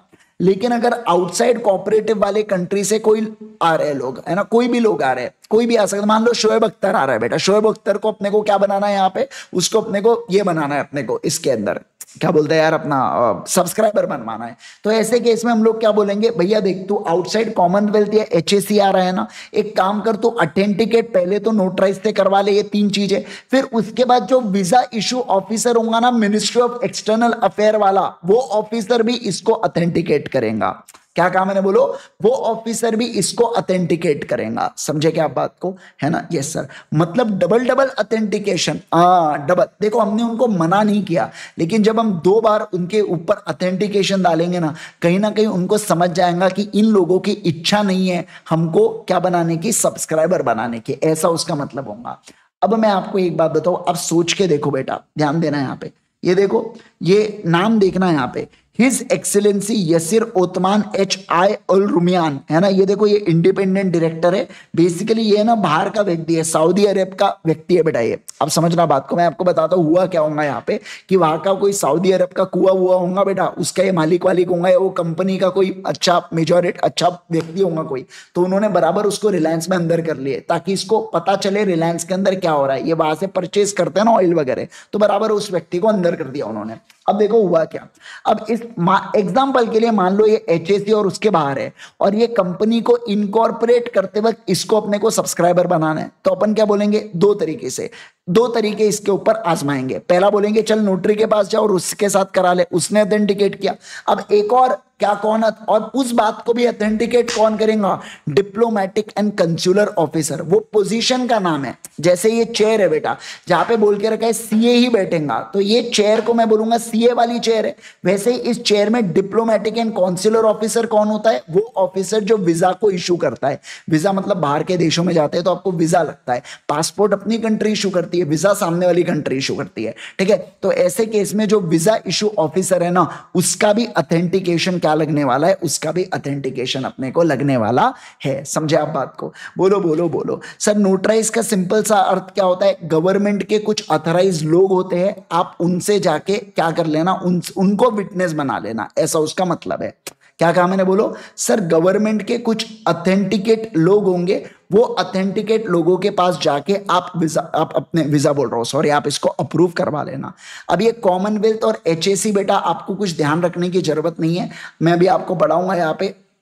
ये कमिटी का नाम है, जो आपको समझ जाएगा वहाँ पे। आपको ध्यान नहीं रखना है कि उसके अंदर कौन आता है, कौन नहीं आता है। आपको वो झंझट में आपको नहीं पढ़ना है। जितना मैंने पढ़ाया, बस उतना ध्यान रखना। आज तक एग्ज़ाम में कभी पूछा नहीं है बट मुझे ऐसा लगता है इसके ऊपर से ना ये सवाल पूछा जा सकता है एमसीक्यू में कि कौन से दो लोगों की परमिशन लगता है अगर आउटसाइड कॉमनवेल्थ और एच आता है तो। तो आपको ध्यान रखना है नोटरी का भी लगेगा और वीज़ा इशू ऑफिसर यानी कि डिप्लोमेटिक ऑफिसर का भी लगेगा। ठीक है? आओ प्लीज़ आ जाएँगे सारे के सारे लोग मॉड्यूल में आ जाओ जल्दी से। और अब मैं आपको क्या पढ़ाने वाला हूँ, मैं आपको जो अभी पढ़ाया, उसके बारे में मैं आपको जानकारी दूँगा। ठीक है? आओ please please two step verification बिल्कुल सही बोला।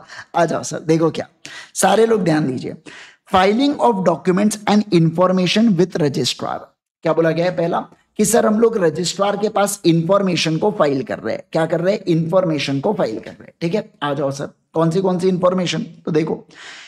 An application for registration of company shall be filed with ROC within whose jurisdiction registered office is proposed to be situated. कितना सिंपल पॉइंट है, मुझे बताओ, अगर मैं पुणे में कंपनी खोल रहा हूँ बेटा तो मैं पुणे आरओसी के पास जाऊँगा या कोयम्बतूर आरओसी के पास जाऊँगा? पुणे आरओसी जिसके जुरिस्डिक्शन जुरिस्डिक्शन मतलब जिसका एरिया में आप अपनी दुकान डाल रहे हो, वहाँ का दादा कौन है? मतलब वहाँ का आरओसी कौन है? उसके पास जमा करो एप्लीकेशन ठीक है? ओके सर कौन सा? तो स्पाइसी एप्लीकेशन स्पाइसी का फुल फॉर्म देख लो बेटा यहाँ पे। Simplified proforma for incorporating company electronically plus I N C thirty two along with fee fee तो चाहिए ही चाहिए इनको। तुम खून चूस लो पूरा सामने वाले का। है ना? आ जाइए। अब देखो अगला। The duly signed MOA and A अब कौन से कौन से डॉक्यूमेंट्स अकंपनीड बाय द देखो एमओए एओए दोगे और उसके साथ डॉक्यूमेंट्स दोगे। अब कौन से डॉक्यूमेंट्स दोगे? तो ये डॉक्यूमेंट देना। सर मुझे एक बात बताओ ना। ये जो एमओए एओए हमको देना है, क्या ये जो एमओए एओए हमको जमा करवाना है, जमा करवाना है, जमा करवाना है तो वो जो एमओए एओए जमा करवाएँगे हम लोग तो मतलब उसके साथ और भी डॉक्यूमेंट्स होंगे ना? हाँ उसी के बारे में बात कर रहे हैं। देखो यहाँ पे क्या। पहला तो बोल दिया है कि ये फॉलोइंग डॉक्यूमेंट्स में आपको देना है एमओए और एओए ठीक है? देखो एमओए का फॉर्म है आईएनसी 33 एओए का फॉर्म है आईएनसी 34 ये ऑनलाइन फॉर्म है। कल ही मैंने आपको समझा दिया क्या होता है फॉर्म्स करके। एक बेसिक बेसिक कुछ नहीं स्ट्रक्चर दे के रखा है फॉर्म पर्चा। उस फॉर्म फॉर्म बोला जाता है उसको, ठीक है? जिसके अंदर आप एमओए की डिटेल्स और एओए की डिटेल्स डालोगे। इंपॉर्टेंट नहीं है। Shall be duly signed by all the subscriber of MOA and in the pattern as stated below मतलब सर एमओए एओए को आप साइन करोगे जिसके बारे में कौन कौन साइन करेगा उसके बारे में यहाँ पे बातचीत की जा रही है ठीक है देखो यहाँ पे पहला ईच सब्सक्राइबर हर एक सब्सक्राइबर को अपना नाडो डालना पड़ेगा। बराबर है ना? Name address description occupation if any in presence of at least one witness जो अटेस्ट करेगा सिग्नेचर को और साइन करेगा और वो भी अपना नाडो डालने वाला है यहाँ पे। मतलब वो जो सिग्नेचर जो अथराइज पर्सन है ना, उसको भी क्या डालना है? उसको भी नाडो की डिटेल्स फ़ाइल करना है। ठीक है? लेकिन सर, यहाँ पे एलविश समझो आप बात को इलिटरेट है तो ऐसे केस में अफिक्स करेगा वो अपना थम इंप्रेशन अंगूठा छाप, है ना?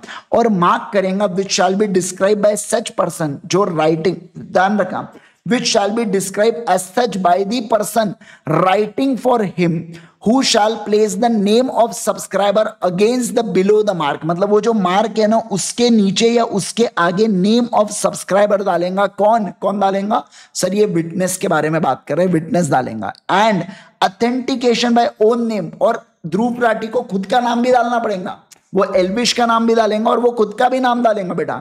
And shall write against the name of subscriber number of shares और एलविश ने कितने शेयर्स लिए, उसके बारे में भी किसको बताना है? ध्रुव को बताना है, ठीक है?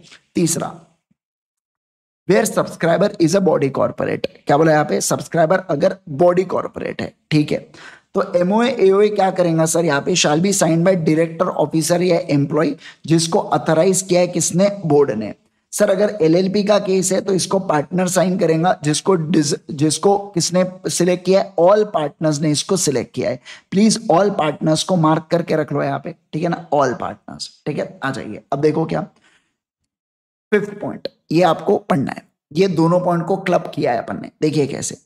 Where subscriber of memorandum is a foreign national residing outside India. हम बात कर रहे हैं किसके बारे में? Foreign national residing outside India यानी कि बिल गेट्स के बारे में, ठीक है? ओके तो उसका सिग्नेचर और एड्रेस देना पड़ेगा मेमोरेंडम पे, और साथ में प्रूफ ऑफ़ आइडेंटिटी भी देना पड़ेगा, जिसको कौन करेगा? नोटराइज करेगा नोटरी पब्लिक के द्वारा। मतलब जो गवर्नमेंट के ऑफिशियल से वो उसको नोटरी करने का मतलब होता है कि वो उसको देख के ठप्पा मारेंगे ऐसा कि ओके आई अप्रूव ओके, मेरे हिसाब से सब कुछ बढ़िया और आपको एक सर्टिफिकेट दे देंगे, ठीक है? Further if such person is residing in outside ओ, देखो, अगर ऐसा पर्सन आउटसाइड द कॉमनवेल्थ या is not a party of not a party of यग यहाँ पे अपोस्टाइल कन्वेंशन ये मैं बोला ना, एक ग्रुप ऐसा डिसाइडेड है।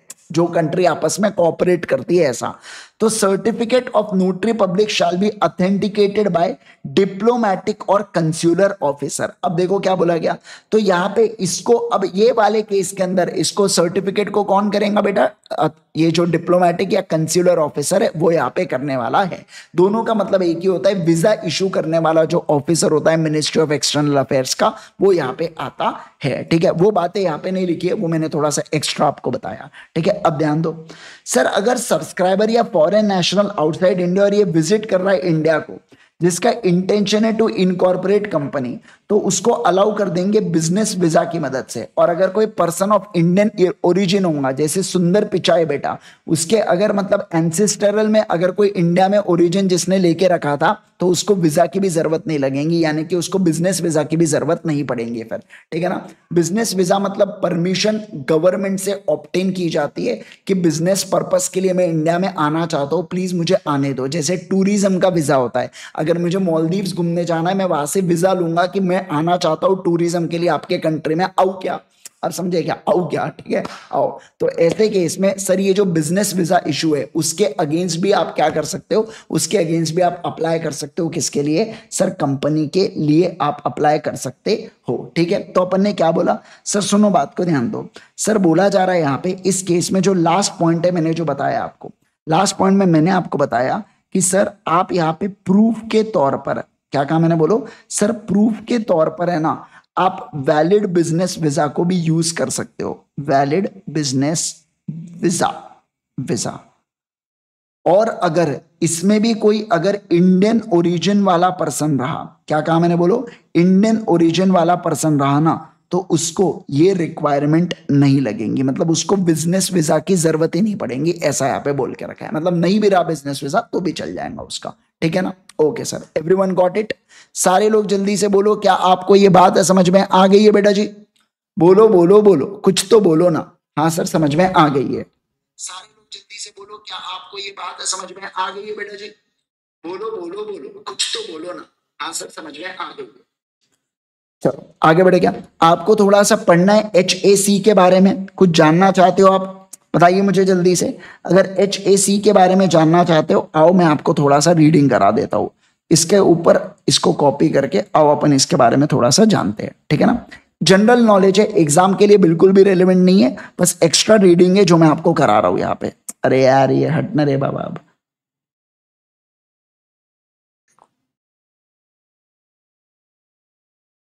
देखो, क्या बोला जा रहा है यहाँ पे? देखो intended to simplify the legalisation process by replacing with a certificate call apostille issued by authority designated by the state of origin मतलब देखो, क्या बोला यहाँ पे? अगर कोई आउटसाइड एच वाला व्यक्ति है मतलब सर जिस कंट्री से वो बंदा आ रहा है, पहली बात तो कंट्री हमारे एसोसिएशन में नहीं है, इसलिए वो कंट्री क्या नहीं देंगी, इसको सर्टिफिकेट नहीं देंगी कि तू वहाँ पे जैसे फॉर एग्ज़ाम्पल मान दो इंडिया पाकिस्तान का नहीं जमता। तो आपको लगता है कि आप पाकिस्तान सरकार वहाँ के किसी पर्सन को ये बोलेंगे कि तू इंडिया में जा, अपना यहाँ से पैसा लगा और वहाँ पे तू धंधा कर करके नहीं बोलेंगे। आप समझना बात को नहीं चाहते। वो चाहते कि वहाँ की जीडीपी ग्रो हो करके। बराबर? तो ऐसे केस में वो सर्टिफिकेट इशू नहीं करेंगे, जो एच वाली कंट्री नहीं है तो। मतलब उसके बाहर वाले लोग होंगे तो अपन लोग बोले, इसलिए बोल रहे हैं अपन कि वीज़ा ऑफिसर से पहले परमिशन लेना अलग से, क्योंकि हम, अगर हमने वो कंट्री को एच का पार्ट नहीं माना है या हमारे कॉमनवेल्थ का पार्ट नहीं माना है तो पक्की बात है कि यहाँ पे क्या है कि कुछ तो गड़बड़ लागे छे। तो कुछ तो गड़बड़ लागे छे तो इसलिए आपको दोबारा से एक और परमिशन लेना पड़ेगा। ठीक है, चलो, आगे बढ़ू क्या मैं? सारे लोग जल्दी जल्दी बताएँगे मुझे क्या मैं आगे बढ़ सकता हूँ क्या? ये सर चलिए तीसरे पॉइंट के ऊपर चलेंगे, सारे लोग ध्यान दीजिएगा फोकस करना है यहाँ पे। अब मैं बात कर रहा हूँ, ये हुआ पहले पॉइंट के बारे में अपन ने ए पॉइंट के बारे में देखा, कौन सा डॉक्यूमेंट पहला डॉक्यूमेंट अपन ने पढ़ा एमओए और एओए और उसके साइनिंग से रिलेटेड एमओए एओए आप फाउंडेशन में पढ़ते थे, लेकिन ये सारी चीज़ें आपने फाउंडेशन में नहीं पढ़ा है कि कौन साइन करेगा, क्या करेगा करके। ठीक है? चलिए सर आओ यहाँ पे ध्यान दो। अब मैं आपको बी बी मतलब क्या? सर देखो बी मतलब दूसरे डॉक्यूमेंट आना जा रहा है। अभी तो पहला ही डॉक्यूमेंट हुआ है। अब मैं दूसरे डॉक्यूमेंट की तरफ़ बढ़ने जा रहा हूँ।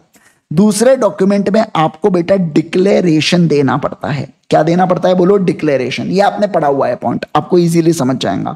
आपको डिक्लेरेशन देना पड़ता है। अच्छा सर किससे डिक्लेरेशन देना पड़ता है? तो दो लोगों से डिक्लेरेशन देना पड़ता है।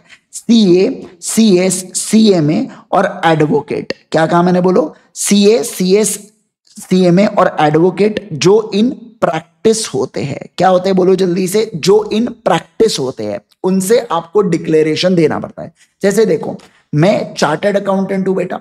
अगर मैं प्रैक्टिस करना चाहूँ तो मैं प्रैक्टिस करने के लिए मुझे आईसीआईसी सर्टिफिकेट ऑफ़ प्रैक्टिस बुलाना पड़ता है, ठीक है? तो एग्ज़ाम्पल के लिए मैं मेरी फॉर्म डाल के रखा हूँ। तो मेरे फॉर्म में अगर मैं काम कर रहा हूँ तो मुझे सीओपी लगेगा फ्री में प्रैक्टिस कर सकता हूँ, ठीक है? अब जैसे एमवी सर पीपी सर हो गए या अपने तेजस सर हो गए, इन ये सीए है, पर इन्होंने सीओपी नहीं ले रखा है तो ये लोग प्रैक्टिस नहीं डाल सकते। आप समझे क्या बात को? लेकिन मेरे पास अगर सीओपी है तो मैं प्रैक्टिस भी डाल सकता हूँ, मैं टीचिंग भी कर सकता हूँ, मैं कुछ भी। मतलब कुछ एग्जेम्पन दे के रखे कि प्रैक्टिस के साथ कुछ कुछ चीज़ें आप और कर सकते हो। ठीक है ना? ओके सर अब देखो क्या तो डिक्लेरेशन लगेगा ऐसे लोगों से, बोलो ना जल्दी से, जो कौन हो, जो प्रैक्टिस में हो। मतलब मेंबर्स इन सर्विस से आप डिक्लेरेशन नहीं ले सकते, पहला। और दूसरा जिन लोगों को आपने ए के अंदर मतलब आप ही के कंपनी के जो आर्टिकल्स ऑफ़ एसोसिएशन है, जो पहला डॉक्यूमेंट था, उसके अंदर जिन लोगों को आपने डायरेक्टर बोल रखा है, जिन लोगों को आपने मैनेजर बोल रखा है, और जिन लोगों को आपने सेक्रेटरी बोल रखा है। क्या बोल रखा है? सेक्रेटरी मतलब अंबानी की सेक्रेटरी नहीं बेटा कंपनी सेक्रेटरी के बारे में बात कर रहे हैं सीएस जो कंपनी का सीएस है, उसके बारे में। तो सर, जिन लोगों को आपने डायरेक्टर मैनेजर और सेक्रेटरी बोल रखा है ना इन लोगों से, इन दोनों लोगों से क्या लगेगा? डिक्लेरेशन लगेगा। और डिक्लेरेशन किस बात का लगेगा? डिक्लेरेशन इस बात का लगेगा कि रिक्वायरमेंट जितना भी रिक्वायरमेंट है, किसका? ऑफ़ एक्ट का। वो क्या हुआ है बेटा? That have been complied that have been complied मतलब क्या? कि सर जितने भी एक्ट के रिक्वायरमेंट्स है ना, वो सारे एक्ट के रिक्वायरमेंट्स को हमने कंप्लाई किया है। यानी कि सब्सक्राइबर को साइन चाहिए थी, हमने साइन कराया। बाहर का व्यक्ति है सर अथेंटिकेट करवाया नोटराइज से। समझ रहे हैं बात को? मतलब इनका कहना है कि जितनी भी छोटी छोटी बातें हैं ना एक्ट के अंदर, वो हमने सारे रिक्वायरमेंट्स को कंप्लाई करके रखा है सर हमने ऐसी कंप्लाई का मतलब होता है फॉलो करना। क्या होता है? बोलो जल्दी से फॉलो करना। तो अगर कंपनीज़ एक्ट कुछ बातें बताता है तो हमने वो सारी बातों को क्या किया है? फॉलो किया है। बोलो क्या किया है? बोलो जल्दी से। हमने वो सारी बातों को फॉलो किया है। ऐसी बात को आपको बताना पड़ेगा। ये बात के रिगार्डिंग आप डिक्लेरेशन लोगे। क्या लोगे? बोलो जल्दी से। डिक्लेरेशन लोगे। और किससे डिक्लेरेशन लोगे ये दो लोगों से डिक्लेरेशन लोगे सबसे नहीं लेते। इनमें से किसी भी एक से लेना। इनमें से किसी भी एक से लेना। तो ये दोनों लोगों से आप डिक्लेरेशन लेने वाले हो, बराबर है। चलिए सर, अब मैं चलूँगा तीसरे वाले पॉइंट के ऊपर। आई थिंक सो ये दूसरा पॉइंट बड़ा इजी था।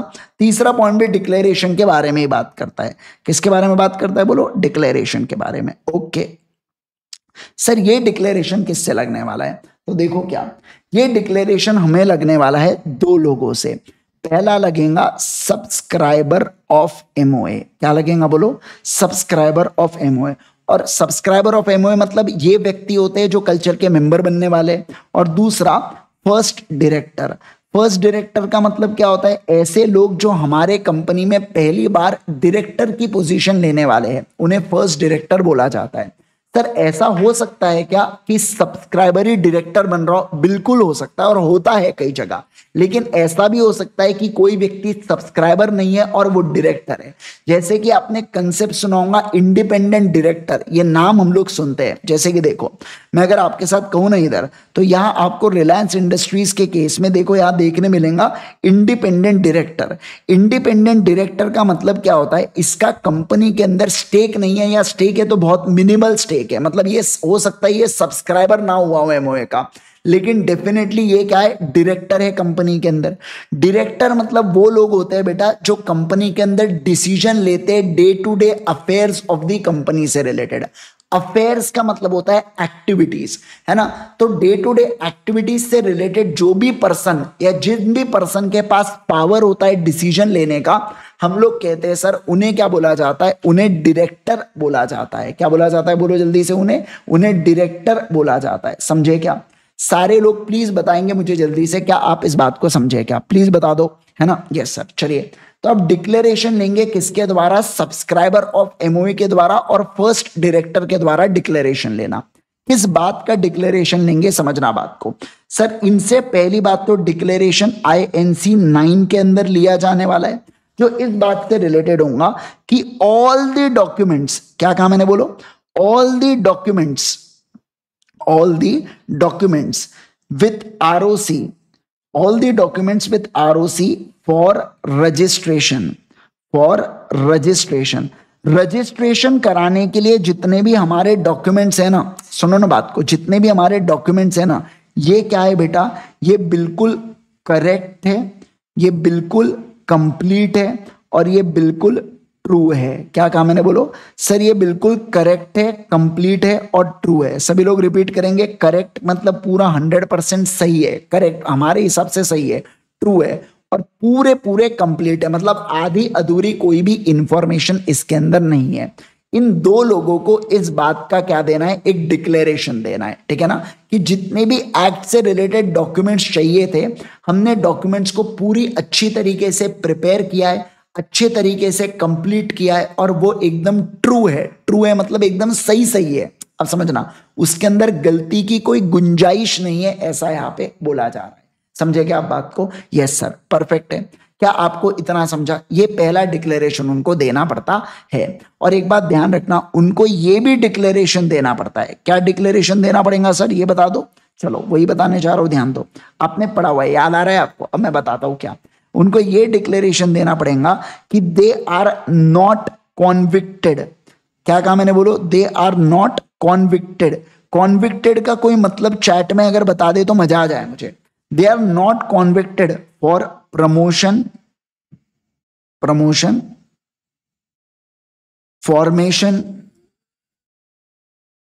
या मैनेजमेंट मैनेजमेंट ऑफ़ कंपनी याद है, बिल्कुल सही का Kushal very good Kushal convicted का मतलब होता है प्रूव्ड गिल्टी क्या होता है? बोलो जल्दी से प्रूव्ड गिल्टी है ना? यस सर जैसे अगर मैं बात करूँ आप लोगों के साथ, विजय माल्या के बारे में बात करेंगे। विजय माल्या को बोल रखा है कि कोर्ट के द्वारा, कोर्ट में प्रूव हो चुका है कि विजय माल्या ने कंपनी के जो मैनेजमेंट था, उसमें क्या किया है? गलत काम किया है। वो गिल्टी करार किया गया है। क्या करार किया गया बोलो जल्दी से। वो गिल्टी करार किया गया कंपनी के मैनेजमेंट के लिए। तो ऐसे केस में अब विजय माल्या कोई भी नई कंपनी नहीं बना सकता या नई कंपनी में डायरेक्टर नहीं रह सकता। अब समझे क्या बात? को तो ऐसा पर्सन बेटा, जिसको लेके कोर्ट ने बोला है कि कोर्ट ने क्या बोला है कि तुमने कंपनी के प्रमोशन प्रमोशन मतलब कंपनी बनाते वक्त कुछ फ्रॉड किया या कंपनी को फॉर्म करने के बाद फ्रॉड किया या मैनेजिंग में कुछ गड़बड़ किया, है ना? तो ऐसे केस में वो व्यक्ति कभी भी क्या नहीं बना सकता कंपनी इनकॉर्पोरेट यानी कि सब्सक्राइबर नहीं बन सकता या फ़र्स्ट डायरेक्टर नहीं बन सकता किसी कंपनी में। और दूसरा देखो समझना बात को ध्यान रखना, दूसरा देखो क्या बोला जा रहा है।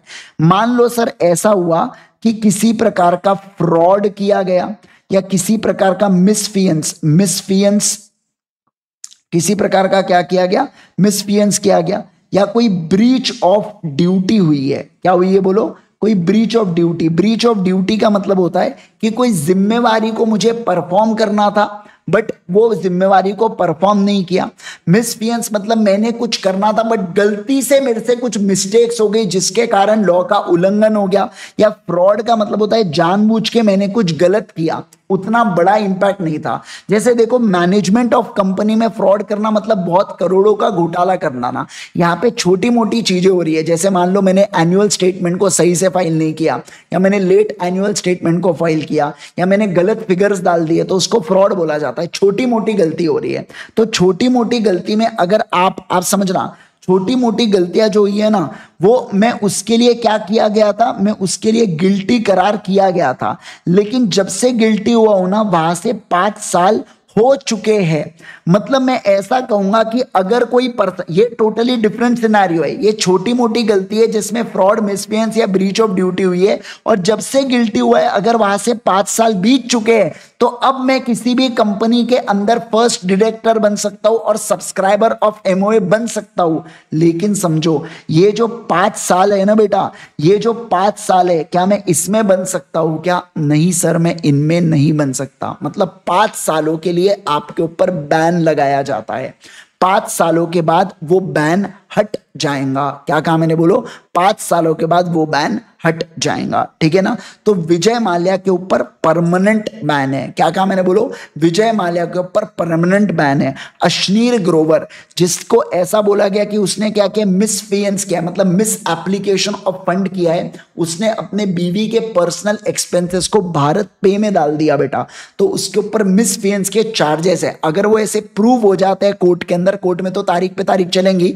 तो अगर वो प्रूफ हो जाते हैं कोर्ट के अंदर तो मैं कहूँगा पाँच सालों के लिए वो कोई नई कंपनी नहीं बना पाएगा या फ़र्स्ट डायरेक्टर नहीं फ़र्स्ट डायरेक्टर दूसरा सब्सिक्वेंट बनना, लेकिन फ़र्स्ट डायरेक्टर नहीं बन पाएगा और इसके अलावा, लेकिन पाँच साल बीत गए, पाँच साल बीत गए तो वो बैन जो है पार्शल बैन वो हट जाएगा।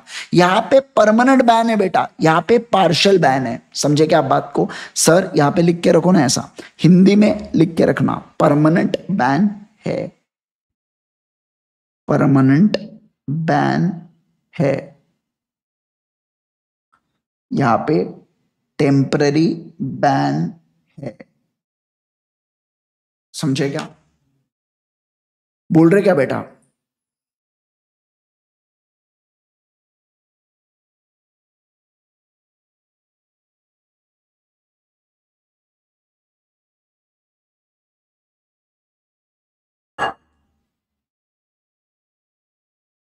लिख डाले आपने? लिख डाले आप लोगों ने, बताइए मुझे जल्दी से।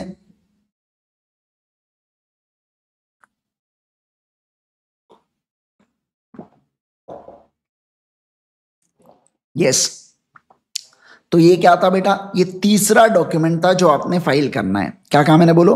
ये तीसरा डॉक्यूमेंट था जो आपको फ़ाइल करना है, ठीक है? बारह तेरह तारीख तक मैंने आपसे कहा, बेटा, जब मैं ऐप के ऊपर लेक्चर्स को शिफ्ट करूँगा, अभी आज का कौन सा चौथा लेक्चर है अपना, है ना? मंडे को आखिरी लेक्चर होगा इसके ऊपर यूट्यूब के ऊपर। फिर छठवें लेक्चर से मैं ऐप के ऊपर शिफ्ट हो जाऊँगा।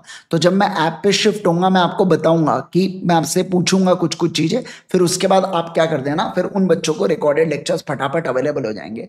तो आप एक एक लेक्चर तुरंत देखना चालू कर देना। डेढ़ डेढ़ घंटे के सेशन से बहुत मज़ेदार है, बहुत मज़ा आएगा आपको। और आपको पता भी नहीं चलेगा कब खत्म हो गया करके वो। ठीक है ना? चलिए सर, अब ध्यान देना, जो बच्चे करना चाहे, जिनको ऐसा लगता है कि तीन इनफ है अब तीन ही कीजिए, कोई प्रॉब्लम नहीं है बेटा। उसमें। ठीक है, आओ। लेकिन थोड़ा सा अगर आपको एम्बिशियस होना है तो ऐसा हो सकता है कि दो दिन में आप एक लेक्चर कर रहे हो तो भी चलेगा। पर आप सोचो ना ग्रुप वन खत्म होने तक आधा या सिक्सटी परसेंट चीज़ खत्म हो गई आपके ऑडिट की। बराबर। तो ऐसा थोड़ा सा एक एडवांटेजेस यहाँ पे आता है। चलिए सर, सारे लोग ध्यान दीजिए यहाँ पे। प्लीज़ फोकस करो बेटा यहाँ पे। सारे लोग ध्यान देना अगले पॉइंट के ऊपर मैं चलने जा रहा हूँ। मैं आपके साथ तीन पॉइंट डिस्कस कर चुका हूँ। अभी मैं आपके साथ डी पॉइंट के ऊपर जा रहा हूँ। ठीक है ना? डी पॉइंट क्या कहता है? डी पॉइंट कहता है एड्रेस ऑफ़ करस्पॉन्डेंस के बारे में। किसके बारे में बोलो जल्दी से? एड्रेस ऑफ़ करस्पॉन्डेंस के बारे में। एड्रेस ऑफ़ करेस्पॉन्डेंस कहाँ पढ़े थे? रिकॉल कराइए मुझे एड्रेस ऑफ़ करेस्पॉन्डेंस आपने पढ़ा है बेटा।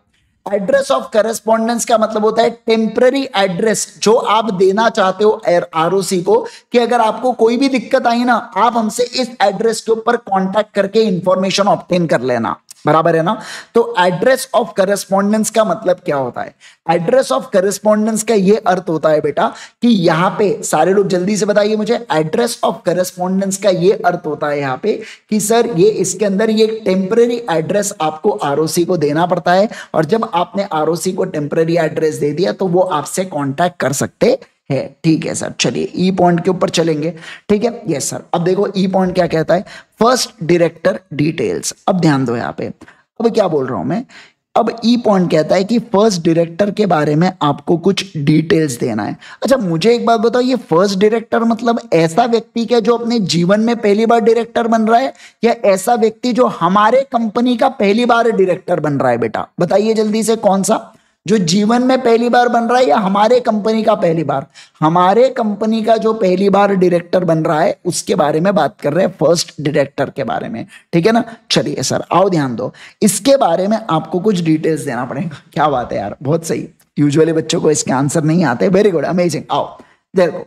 सर, अगर मैं बात करूँ, आपको क्या क्या डिटेल देना पड़ेगा? आपको नेम देना पड़ेगा, इसका सरनेम क्या है, वो आपको देना पड़ेगा। इसके साथ साथ इसको बबलू चिंटू क्या बुलाते हैं घर पे? यानी कि फैमिली नेम भी आपको इसका देना पड़ेगा। प्लीज़ अपने घर का बेटा यहाँ पे फैमिली नेम अच्छा रखिएगा। कल चल के आप डायरेक्टर बनोगे किसी बड़े बड़े कंपनी में। आप चिंटू, बबलू ऐसा कुछ भी नाम देंगे तो मुश्किल हो जाएँगे, है ना? तो फैमिली नेम क्या बोला जाता है, वो देना। अब देखो डायरेक्टर को एक नंबर देना पड़ता है और उस नंबर का नाम है डिन नंबर कोई मुझे डिन नंबर का फुल फॉर्म बता दो। कोई मुझे डिन नंबर का फुल फॉर्म बता दो। कि डिन नंबर का मतलब क्या होता है? बिल्कुल सही, मैं चैट में देख पा रहा हूँ डायरेक्टर आइडेंटिफिकेशन नंबर आप बोल रहे हो। क्या बात है? बहुत बहुत ही खूबसूरत है, बहुत ही अमेजिंग जैसे इंसानों के लिए होता है आधार कार्ड, उसी प्रकार से डायरेक्टर के लिए होता है डायरेक्टर आइडेंटिफिकेशन नंबर जो उसे लेना पड़ता है किसी भी कंपनी का डायरेक्टर लेने से पहले। मैं आपको बता दूँ डायरेक्टर जो डिन नंबर है, जो वन नंबर है डिन का बेटा। वन नंबर जो है ना, वो रतन टाटा जी का है। आप समझ रहे बात को किसका है वो बताइए मुझे? रतन टाटा जी का है, क्योंकि उस समय टीसीएस के पास काम था डिन नंबर इशू करने का। तो पहला जो डायरेक्टर आइडेंटिफिकेशन नंबर लिखना, वो रतन टाटा जी का निकला था। ठीक है ना? ओके सर चलिए सर ध्यान दीजिए यहाँ पे। तो ये हुआ डिन नंबर फिर तीसरा, अगर मैं बात करूँ आप लोगों के साथ तो आपको यहाँ पे एड्रेस देना पड़ता है। एड्रेस का मतलब पता है आपको। आपको नेशनैलिटी बताना पड़ता है, ये इंडियन है, बाहर का है, क्या है, वो आपको बताना पड़ता है। फिर इसके अलावा क्या बोला? कोई अदर प्रूफ ऑफ़ आइडेंटिटी भी आपको देना पड़ेगा। अदर प्रूफ ऑफ़ आइडेंटिटी में लाइसेंस आता है बर्थ सर्टिफिकेट आता है अदर अदर चीज़ें आती है।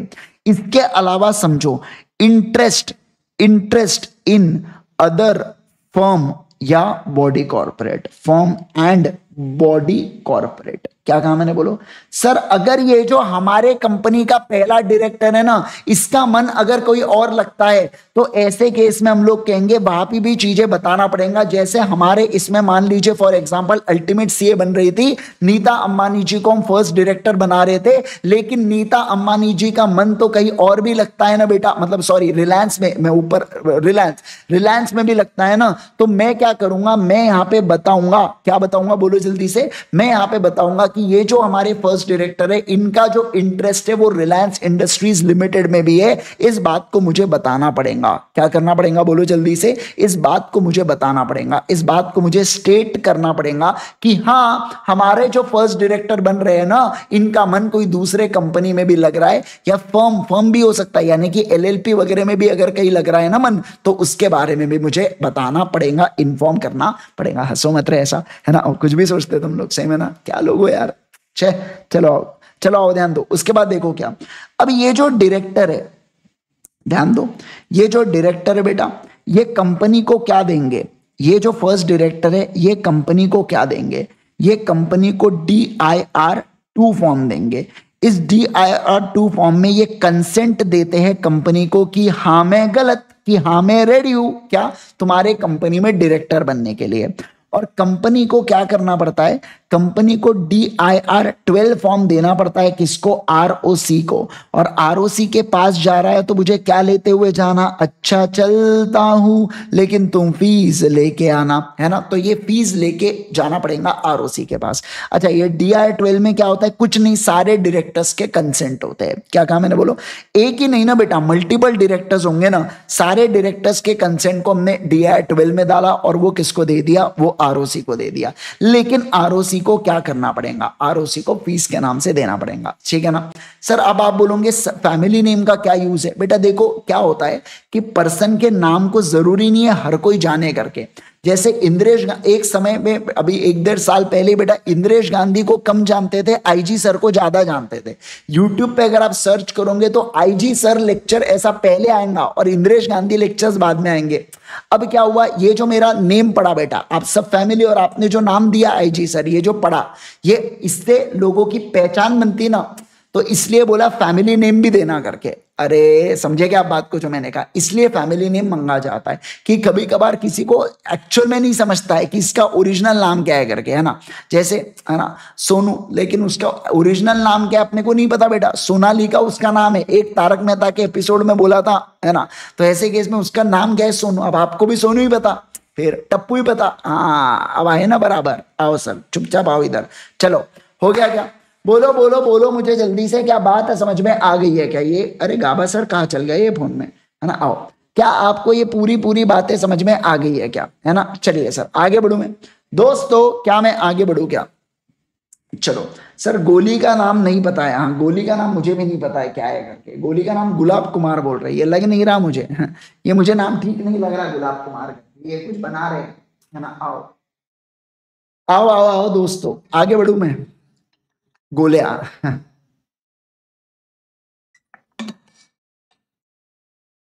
चलिए सर। तो ये आपने ये भी डॉक्यूमेंट सबमिट किया। ये कौन सा डॉक्यूमेंट हुआ? पांचवा डॉक्यूमेंट हुआ। अभी एक और डॉक्यूमेंट अब कर ही दो ना सर। चलो, छठवा डॉक्यूमेंट मैं आपको बता देता हूँ। सब्सक्राइबर ऑफ़ एमओए को लेके। किसको लेके बोलो? छठवा डॉक्यूमेंट मैं आपको बढ़ा देता हूँ। सब्सक्राइबर ऑफ़ एमओए के लेके। आओ आओ आओ आओ मित्रों एफ़ सब्सक्राइबर ऑफ़ एमओए अब ये जो सब्सक्राइबर ऑफ़ एमओए के बारे में बात करेंगे। सब्सक्राइबर ऑफ़ एम क्या कहा मैंने बोलो? Subscriber of M O A अच्छा सही में गुलाब कुमार है क्या? मुझे लगा मज़ाक कर रहा है करके। चलो क्या क्या डिटेल आपको देना पड़ेगा? तो सिंपल सी बात है, आपको नेम देना पड़ेगा सरनेम भी देना पड़ेगा, और साथ साथ में फादर का नेम भी देना पड़ेगा। प्लस इसके साथ आप लेटेस्ट एकदम लेटेस्ट वाली, जिसे बोला जाता है रीसेंट फ़ोटो वो भी देना फ़ोटो देना। ठीक है, आओ। इसको बस एक बार लिख लेते हैं, आपको ऐसे ही समझ में आ जाएगा क्या क्या है। जहाँ समझाना होगा, समझा दूँगा। फिर आपको यहाँ पे फादर नेम देना पड़ेगा, और दूसरा यहाँ पे आपको फादर के जगह आप मदर नेम भी दे सकते हो क्या? बिल्कुल बिल्कुल दे सकते हो। फिर अगला देखो क्या, आपको नेशनैलिटी के बारे में बताना पड़ेगा। और इस नेशनैलिटी के लिए आपको प्रूफ लगेगा कब? प्रूफ लगेगा अगर आप कोई फॉरेन वाले नेशनल हो ना, तब आपको प्रूफ लगेगा। बराबर है क्या? इंडियन ही रही आपकी नेशनैलिटी तो कुछ नहीं लगने वाला है, क्योंकि ऊपर आपको वैसे ही पता चल जाएगा। ठीक है? फिर देखो क्या बोला जा रहा है। Date and place of birth बताना आपका। कहा बॉर्न हुआ है? Date and place of birth ठीक है ना? मुझे समझता नहीं है, जान के क्या कर लेते हैं करके प्लेस ऑफ़ बर्थ कौन सा डॉक्टर को जाके बेटा, जिस डॉक्टर ने मतलब मान लो यार, है ना तो वो अब डॉक्टर है कि नहीं है, ये भी नहीं पता अपने को। पर ठीक है, इनको चाहिए date and place of birth लो भाई फिर, और क्या बोलेंगे? है ना मतलब आपको डेट एंड डिस्ट्रिक्ट बताना है। क्या बताना है बोलो? डेट एंड डिस्ट्रिक्ट बताना है। जैसे अभी मैं ना रिसेंटली वो पासपोर्ट के काम से गया था तो उसमें भी वो पूछ रहे थे बार बार बर्थ प्लेस बर्थ का। अरे भाई, क्या कर लेंगे जान के? कुछ करना है उधर को? जाएँगा कि सत्ताईस साल पहले कौन डॉक्टर था करेंगे मेरे को भी नहीं पता कौन है है ना? आओ। उसके बाद देखो क्या, फिर बोल के रखा है कि, सर, ओ सर, एजुकेशनल क्वालिफिकेशन भी आपने बताना है। क्या बताना है बोलो? एजुकेशनल क्वालिफिकेशन क्या क्या है उसका, वो भी बताना है। एक्चुअल में एजुकेशनल क्वालिफिकेशन में तीन कैटेगरी आती है अंडर ग्रेजुएट ग्रेजुएट और ग्रेजुएट के ऊपर और कुछ अगर है तो वो सारी चीज़ें यहाँ पे आती है पोस्ट ग्रेजुएट वगैरह ऐसे तो वो आपको यहाँ पे बताना पड़ता है।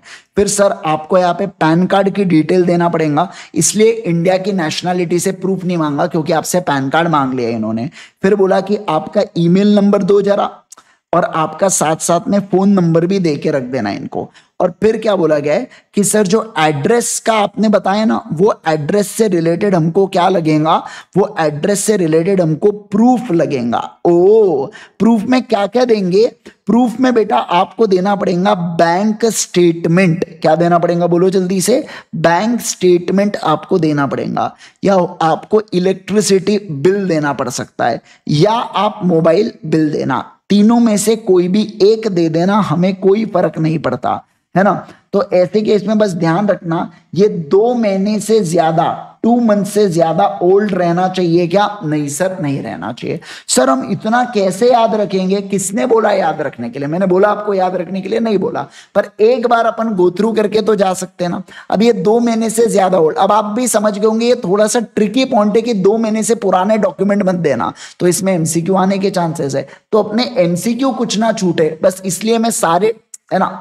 तो इसको एक बार गो थ्रू करना ज़रूरी है ये वाली चीज़ है कि क्या क्या लगेगा सब्सक्राइबर के एमओए की डिटेल्स मान लो एग्ज़ाम में पूछ भी लिया तो अगर एग्ज़ाम्पल चार मार्क के लिया तो आप क्या चार पॉइंट लिख नहीं सकते क्या कॉमन सेंस वाले पॉइंट है, नाम आपको हमेशा ध्यान आएगा। नेशनलिटी एजुकेशन पैन नंबर ये हमेशा ध्यान आ जाएँगे आपको, पटापट लिख के आंसर आ गए अंदर।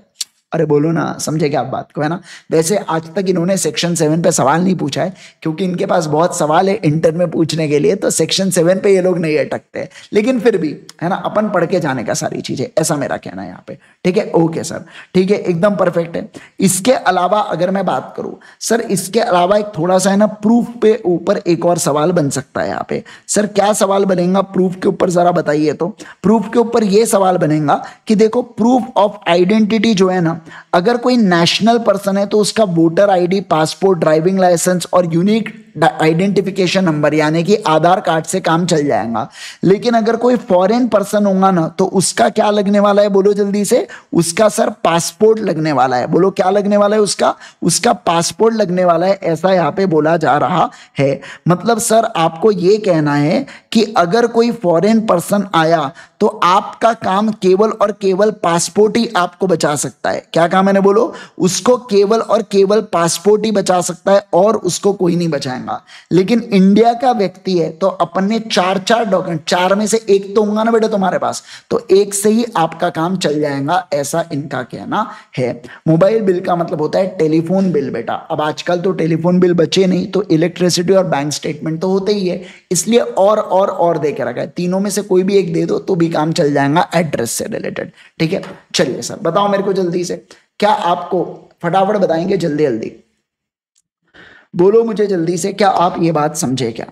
फटाफट बताओ, जल्दी से बताओ, अभी के अभी बताओ। गॉट इट एवरीवन एवरीवन बोलो जल्दी से, क्या आपको ये बातें क्लियर है? किसी को कुछ भी पूछना है, इसमें से तो बता दो मेरे को। ये जो मैंने आपको आखिरी वाला पॉइंट अभी कवर किया। कोई भी बात है यू आई एन का मतलब होता है unique identification number Aadhaar card Aadhaar card Aadhaar card लिख के रख दो। अगर किसी को बाद में कंफ्यूजन होगा तो unique identification number Aadhaar card example में भी डाल दो।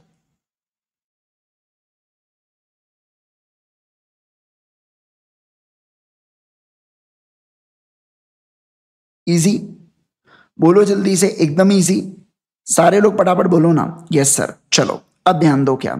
सर अब अगर मैं बात करूँ आपके साथ देखो क्या बोला जा रहा है। सर, यहाँ पे क्या बोला गया सुनना। मैं क्या कह रहा हूँ? यहाँ पे ये बोला जा रहा है, ये वाला थोड़ा सा इंपॉर्टेंट पॉइंट है, इसलिए मैं कह रहा हूँ सुनने के लिए, ठीक है? आओ ध्यान दो। सर, यहाँ पे ये लोग क्या बोल रहे हैं? यहाँ पे ये लोग बोल रहे हैं क्या कि सर, अगर कोई सब्सक्राइबर है, याद है आपका उसका मन कहीं और लगता है?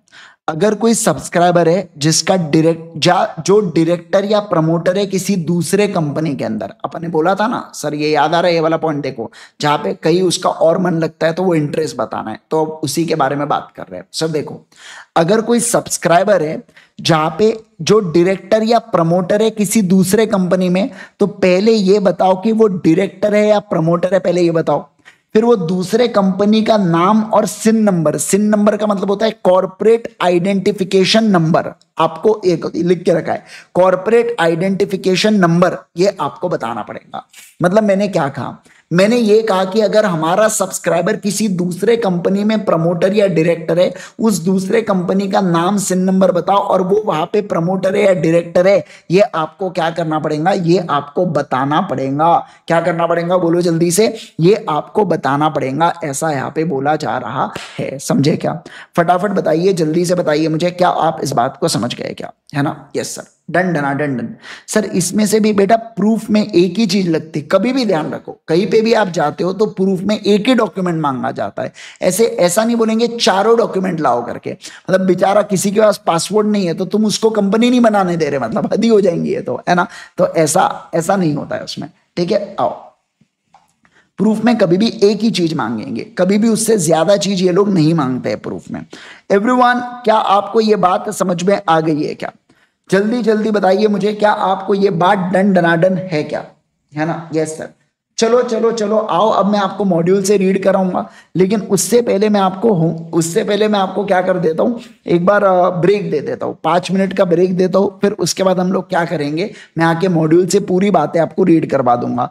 फिर एक क्वेश्चन को अपने को लिख के प्रैक्टिस करना इसके आगे के जो कुछ डॉक्यूमेंट्स रह गए हैं ना, या एक डॉक्यूमेंट बचा हुआ है, वो एक डॉक्यूमेंट मैं कवर करा दूँगा।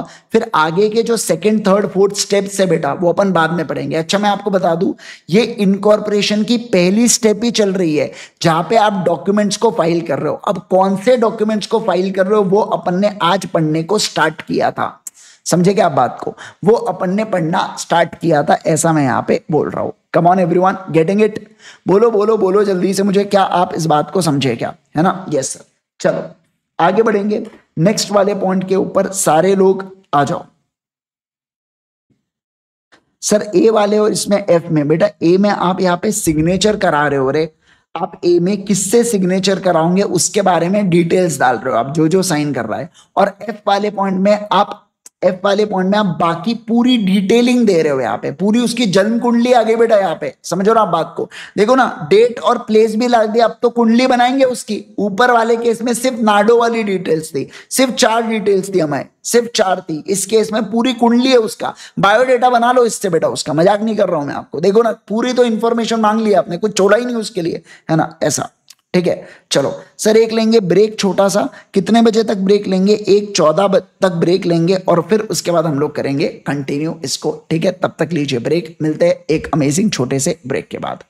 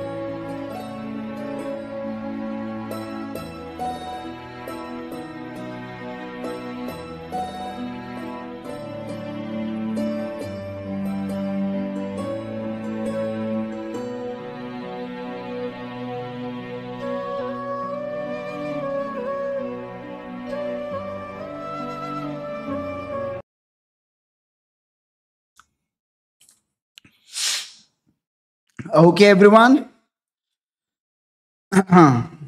बेटा, पंद्रह अगस्त का मेरी तो क्लास है, मेरे को बाकियों का नहीं पता यार। मेरा है लेकिन क्लास हाँ। बाकियों का आप रिस्पेक्टिव टीचर आपको कम्युनिकेट करेंगे अगर क्लास रखना है तो। नहीं तो बाय डिफ़ॉल्ट आपकी क्लास नहीं रहेंगे। आप पूछ लेना ना चैट के अंदर, बता देंगे आपको। ठीक है? चलो सर, आओ। Okay okay okay okay everyone come on चलिए। दोस्तों, हम लोग क्या पढ़ रहे थे?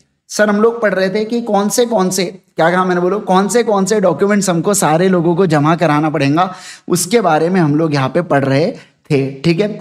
अभी जो मैं आपको पढ़ाने जा रहा हूँ, वो केवल केवल और केवल एक छोटा सा कंसेप्ट है, और वो कौन सा है बेटा? वो है सब्सक्राइबर ऑफ़ बॉडी कॉर्पोरेट का कंसेप्ट कौन सा है बोलो जल्दी से? सब्सक्राइबर ऑफ़ बॉडी कॉर्पोरेट का कंसेप्ट मतलब क्या? कि सर कि सर सुनो ना, कि अगर कोई पर्सन मैं क्या कह रहा हूँ, बोलो? कि सर, अगर कोई पर्सन हमारा बॉडी कॉर्पोरेट है, अगर कोई सब्सक्राइबर बॉडी कॉर्पोरेट है तो ऐसे केस के अंदर कौन सी कौन सी डिटेल्स आप मांगोगे? वैसे मैं आप लोगों को बस एक रेफरेंस दे दूँ कि कोई भी एक कंपनी किसी दूसरे कंपनी के अंदर मेंबर बन सकती है। जैसे इंसान मेंबर बन सकते हैं, उसी प्रकार से कंपनी भी दूसरे कंपनी के अंदर मेंबर बन सकती है। बराबर? अब अगर क्या हो गया बेटा? साउंड नहीं आ रहा आपको? Hello hello. क्या हो गया? साउंड करेक्ट नहीं है क्या?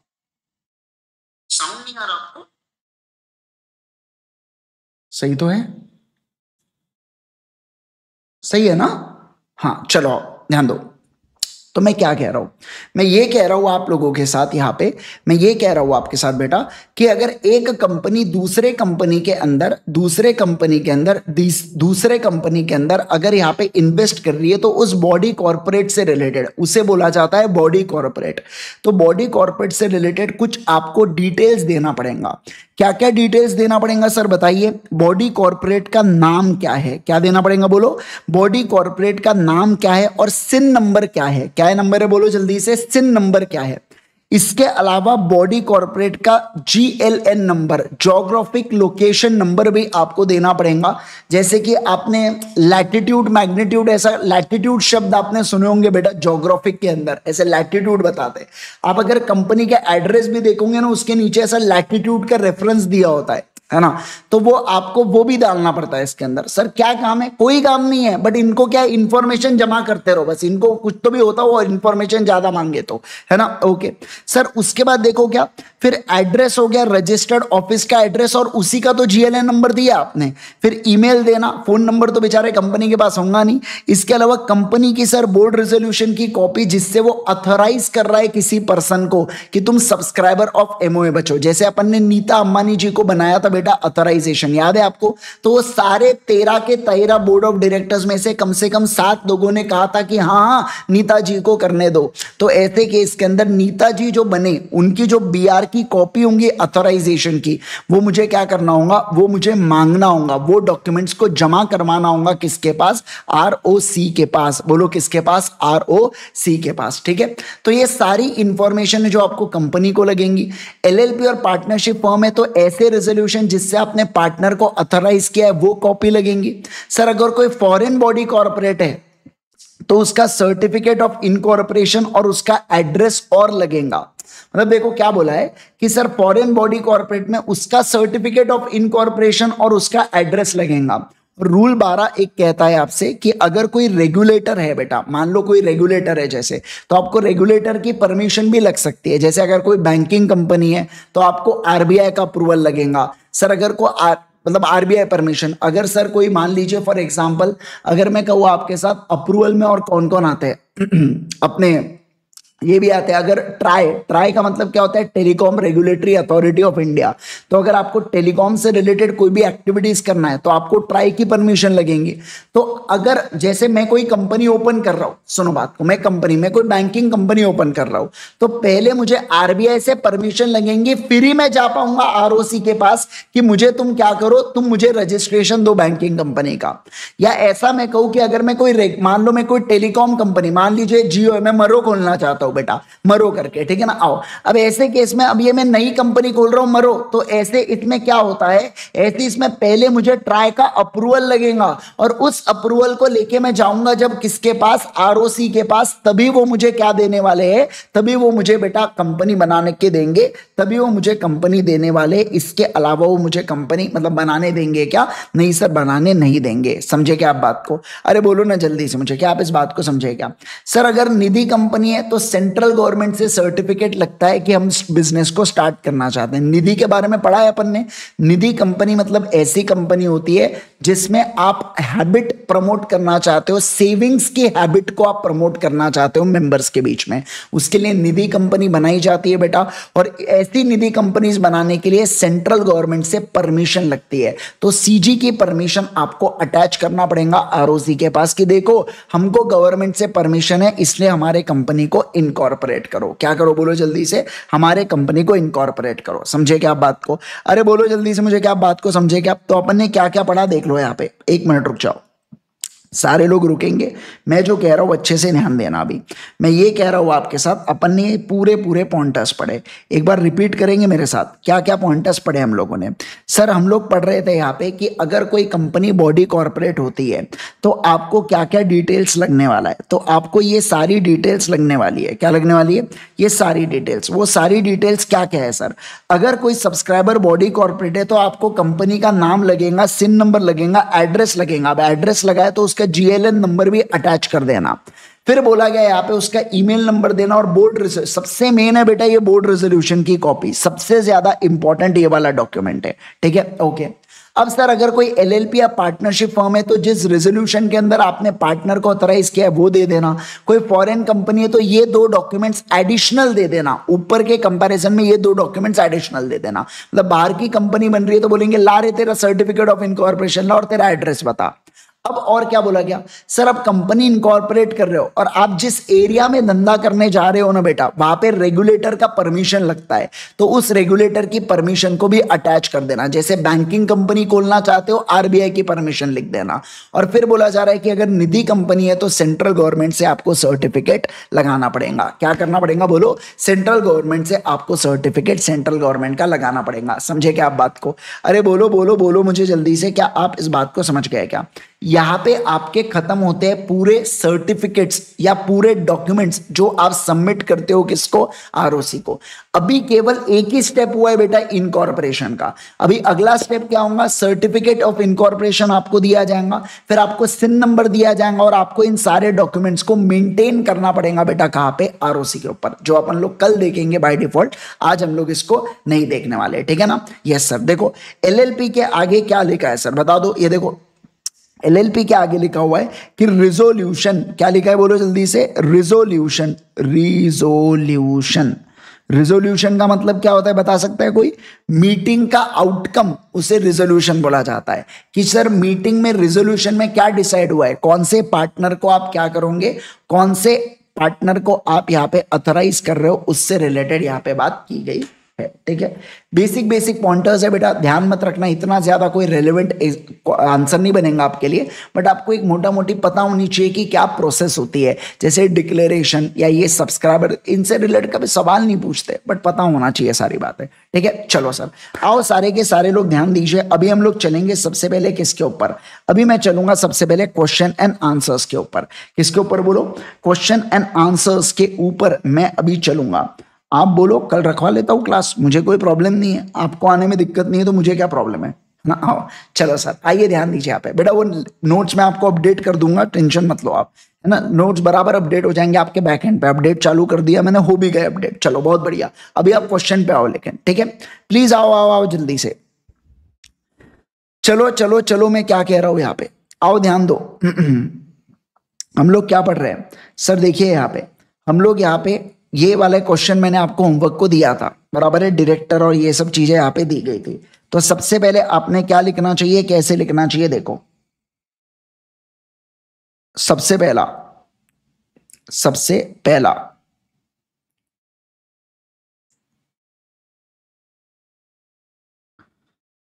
सबसे पहले आने वाला है एक्ट एप्लीकेबल क्या आने वाला है, बोलो? एक्ट एप्लीकेबल उस एक्ट एप्लीकेबल में आप डालोगे, जो भी आपका सेक्शन रेलिवेंट एप्लीकेबल हो रहा है, वो आप यहाँ पे डाल देना, ठीक है ना? जैसे सेक्शन 268 यहाँ पे लग रहा है ऑफ़ कंपनीज़ एक्ट 2013 ठीक है? फिर इसके बाद आप क्या डालोगे, बताइए मुझे जल्दी से। फिर आप डालना यहाँ पे प्रोविज़न जीएलएन का फुल फॉर्म होता है जोग्राफिकल लोकेशन नंबर बेटा. ठीक है ना? प्लीज़ उसको फुल फॉर्म मत डालो. शॉर्ट फॉर्म ही दे के रखा है. जीएलएन बोलते हैं उसको. वर्ल्ड वाइड रिकॉग्नाइज्ड है वो नाम. अपने को नहीं पता होता है क्योंकि अपन ने इससे पहले नहीं पढ़ा है तो बट वो होता है. ठीक है? चलो सर आओ यहाँ पे ध्यान दो. चलिए अगला पॉइंट देखो यहाँ पे क्या? पहला पहला provision a private company private company means in which minimum paid up share capital आप फुल फॉर्म में लिखेंगे, आपको सीए बनना है, मैं सीए बन चुका, आप पूरा लिखेंगे बेटा in which minimum paid up share capital as may be prescribed as may be prescribed ठीक है? ओके सर दूसरा दूसरा दूसरा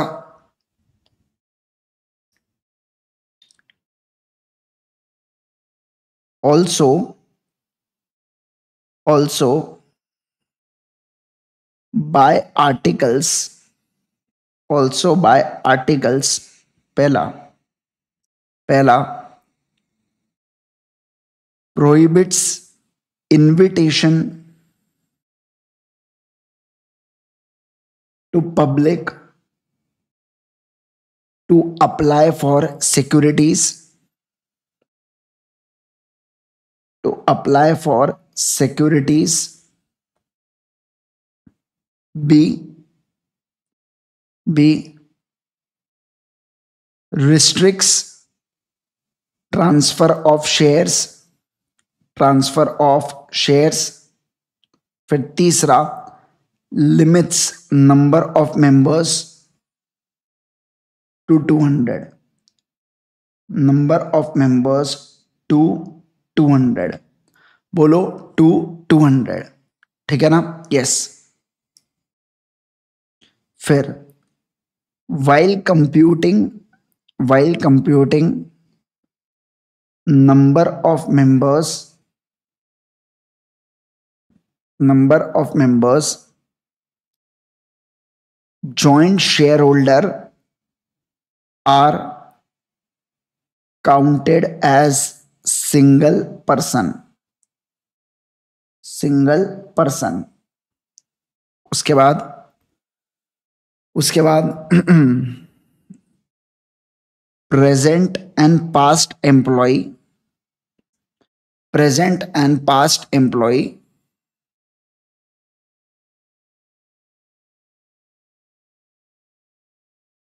who becomes member? Who becomes member? and still continues to be and still continues to be continues to be shall not be counted for 200 limit ठीक है ना yes चलो अब सबसे इंपॉर्टेंट बात है, और वो क्या है बेटा यहाँ पे? Conclusion conclusion in present scenario in present scenario in present scenario बेटा अमन, ये बहुत कॉमन सेंस की बात है बेटा। आप समझो बात को। आप अभी इंटर में आ गए हो, है ना? तो ये बहुत कॉमन सेंस की बात है कि जो मैं क्लास में अभी आपको करा रहा हूँ, आप उसके ऊपर अभी ध्यान दीजिए। मैं आपका, आप जब से एक ही एक कमेंट किए जा रहे हो, मैं आपको बहुत ईजीली मैं आपको ब्लॉक कर सकता हूँ। जहाँ मुझे ज़रूरी होगा, मैं बराबर से करवा दूँगा। जहाँ मैंने आपको बोल के रखा हो कि आप घर पे एक बार पढ़ेंगे और अगले दिन आके मैं कराऊँगा रिविजन तो मैं कराऊँगा। समझे बात को, आप एक क्लास का रूट डिसाइड होता है। आप उस रूट को बदल नहीं सकते। जो तरीका मुझे पता है एक्सपीरियंस से वो तरीका मुझे सॉर्टेड है डन एंड डस्टेड वो तरीके पे मार्क्स आते हैं। तो जब मैंने बोला हूँ कि वो करना है मतलब खत्म हो गई बात, करना है करके। मैं आपको ऑप्शन नहीं दे रहे फाउंडेशन नहीं है बेटा, कि अपन खेल रहे कुछ भी यहाँ पे। समझना बात को? मैं बहुत सीरियसली ये बात बता रहा हूँ आपको। प्लीज़ किसी भी प्रकार की इनडिसिप्लिन या फालतू हरकतें मत करो क्लास में, जिसके कारण बाकी बच्चों का नुकसान हो। जेन्यूनली आई एम टेलिंग आओ in present scenario in present scenario और आते बराबर मेरा सबसे पहला काम वही होता है रिवीजन करवाना। चूका क्या अभी तक तीन दिनों में? तीन क्या? अस्सी लेक्चर्स तक भी एक भी दिन नहीं चूकेंगे। जिस दिन हम सारे दिन हम लोग रिवाइज करते हैं। जो भी टॉपिक पढ़ा है डेफिनेटली रिविजन होगा लेकिन आप जब तक खुद से एफर्ट्स नहीं डालोगे ना, वो क्लैरिटी कैसे आएँगे? हर चीज़ थोड़ी, अरे यार बेटा, लिखना आपको ही है। मैं सिर्फ़ आपको तरीका बता सकता हूँ लिखने का। अब अब देखो, इसमें अब मान लो हमारे पास बच्चे इसमें से ऐसे कुछ बच्चे होंगे जिन्होंने क्वेश्चन देखा भी नहीं होगा। दे दिए ना सर ने जान दो क्या देखने का करके। फिर फिर जब एग्ज़ाम के पहले ना, वही बच्चे, सर राइटिंग प्रैक्टिस नहीं हो रही, घबराहट हो रही है। होंगी घबराहट, क्योंकि क्लास के ड्यूरिंग किया नहीं, और जब करना चाहिए था तब क्या नहीं। अब घबराहट होके क्या करने वाला है? आओ सर, ध्यान दो बेटा यहाँ पे। In present scenario following are following are number of following are number of members members in कौन सी कंपनी कंपनी का नाम बताओ मुझे in flora and fauna flora and fauna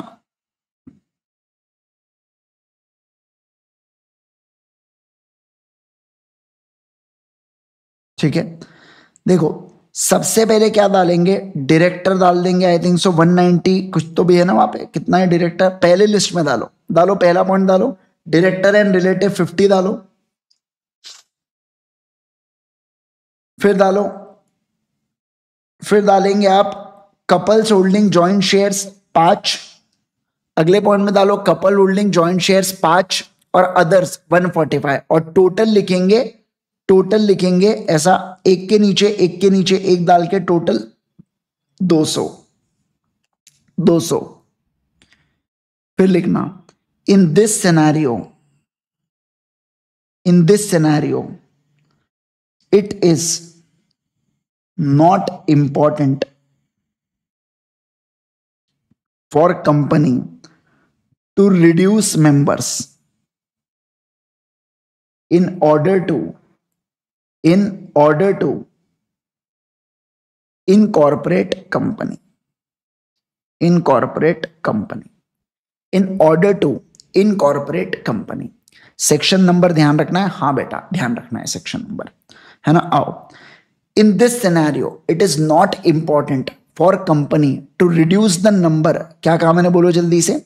To reduce the member in order to incorporate company समझे क्या आप बात को?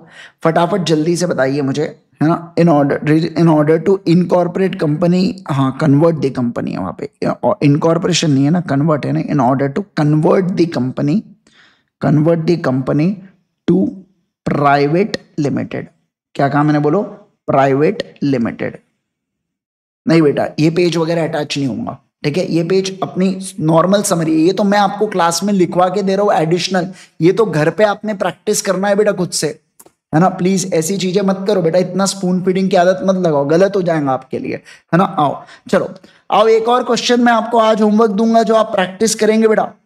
कौन सा क्वेश्चन दू मैं आपको, कौन सा क्वेश्चन दू मैं आपको, कौन सा क्वेश्चन दू मैं, देखो ये लो क्वेश्चन ये लीजिए अच्छा ये हो चुका है अपना डिस्कशन हो चुका है ना? नहीं नहीं हुआ ये। ये लो क्वेश्चन नंबर सेवन आज आप क्वेश्चन नंबर सेवन करेंगे। आज का आपका डीपी क्यू है। मैं आपके इसमें, देख लो, मैं आपके इसमें मे पच्चीस वाला जो टैब है ना, उसके अंदर में लेक्चर ट्रैकर में अपडेट कर रहा हूँ बेटा। आज का मैंने कौन सा आपको क्वेश्चन दिया? आज की तारीख क्या है? दस। और दस के ऊपर जो आने वाला है। ये है क्वेश्चन नंबर सेवन आएगा। इसके साथ साथ एक और क्वेश्चन दूँगा मैं आपको। एक और क्वेश्चन कौन सा दू मैं आपको?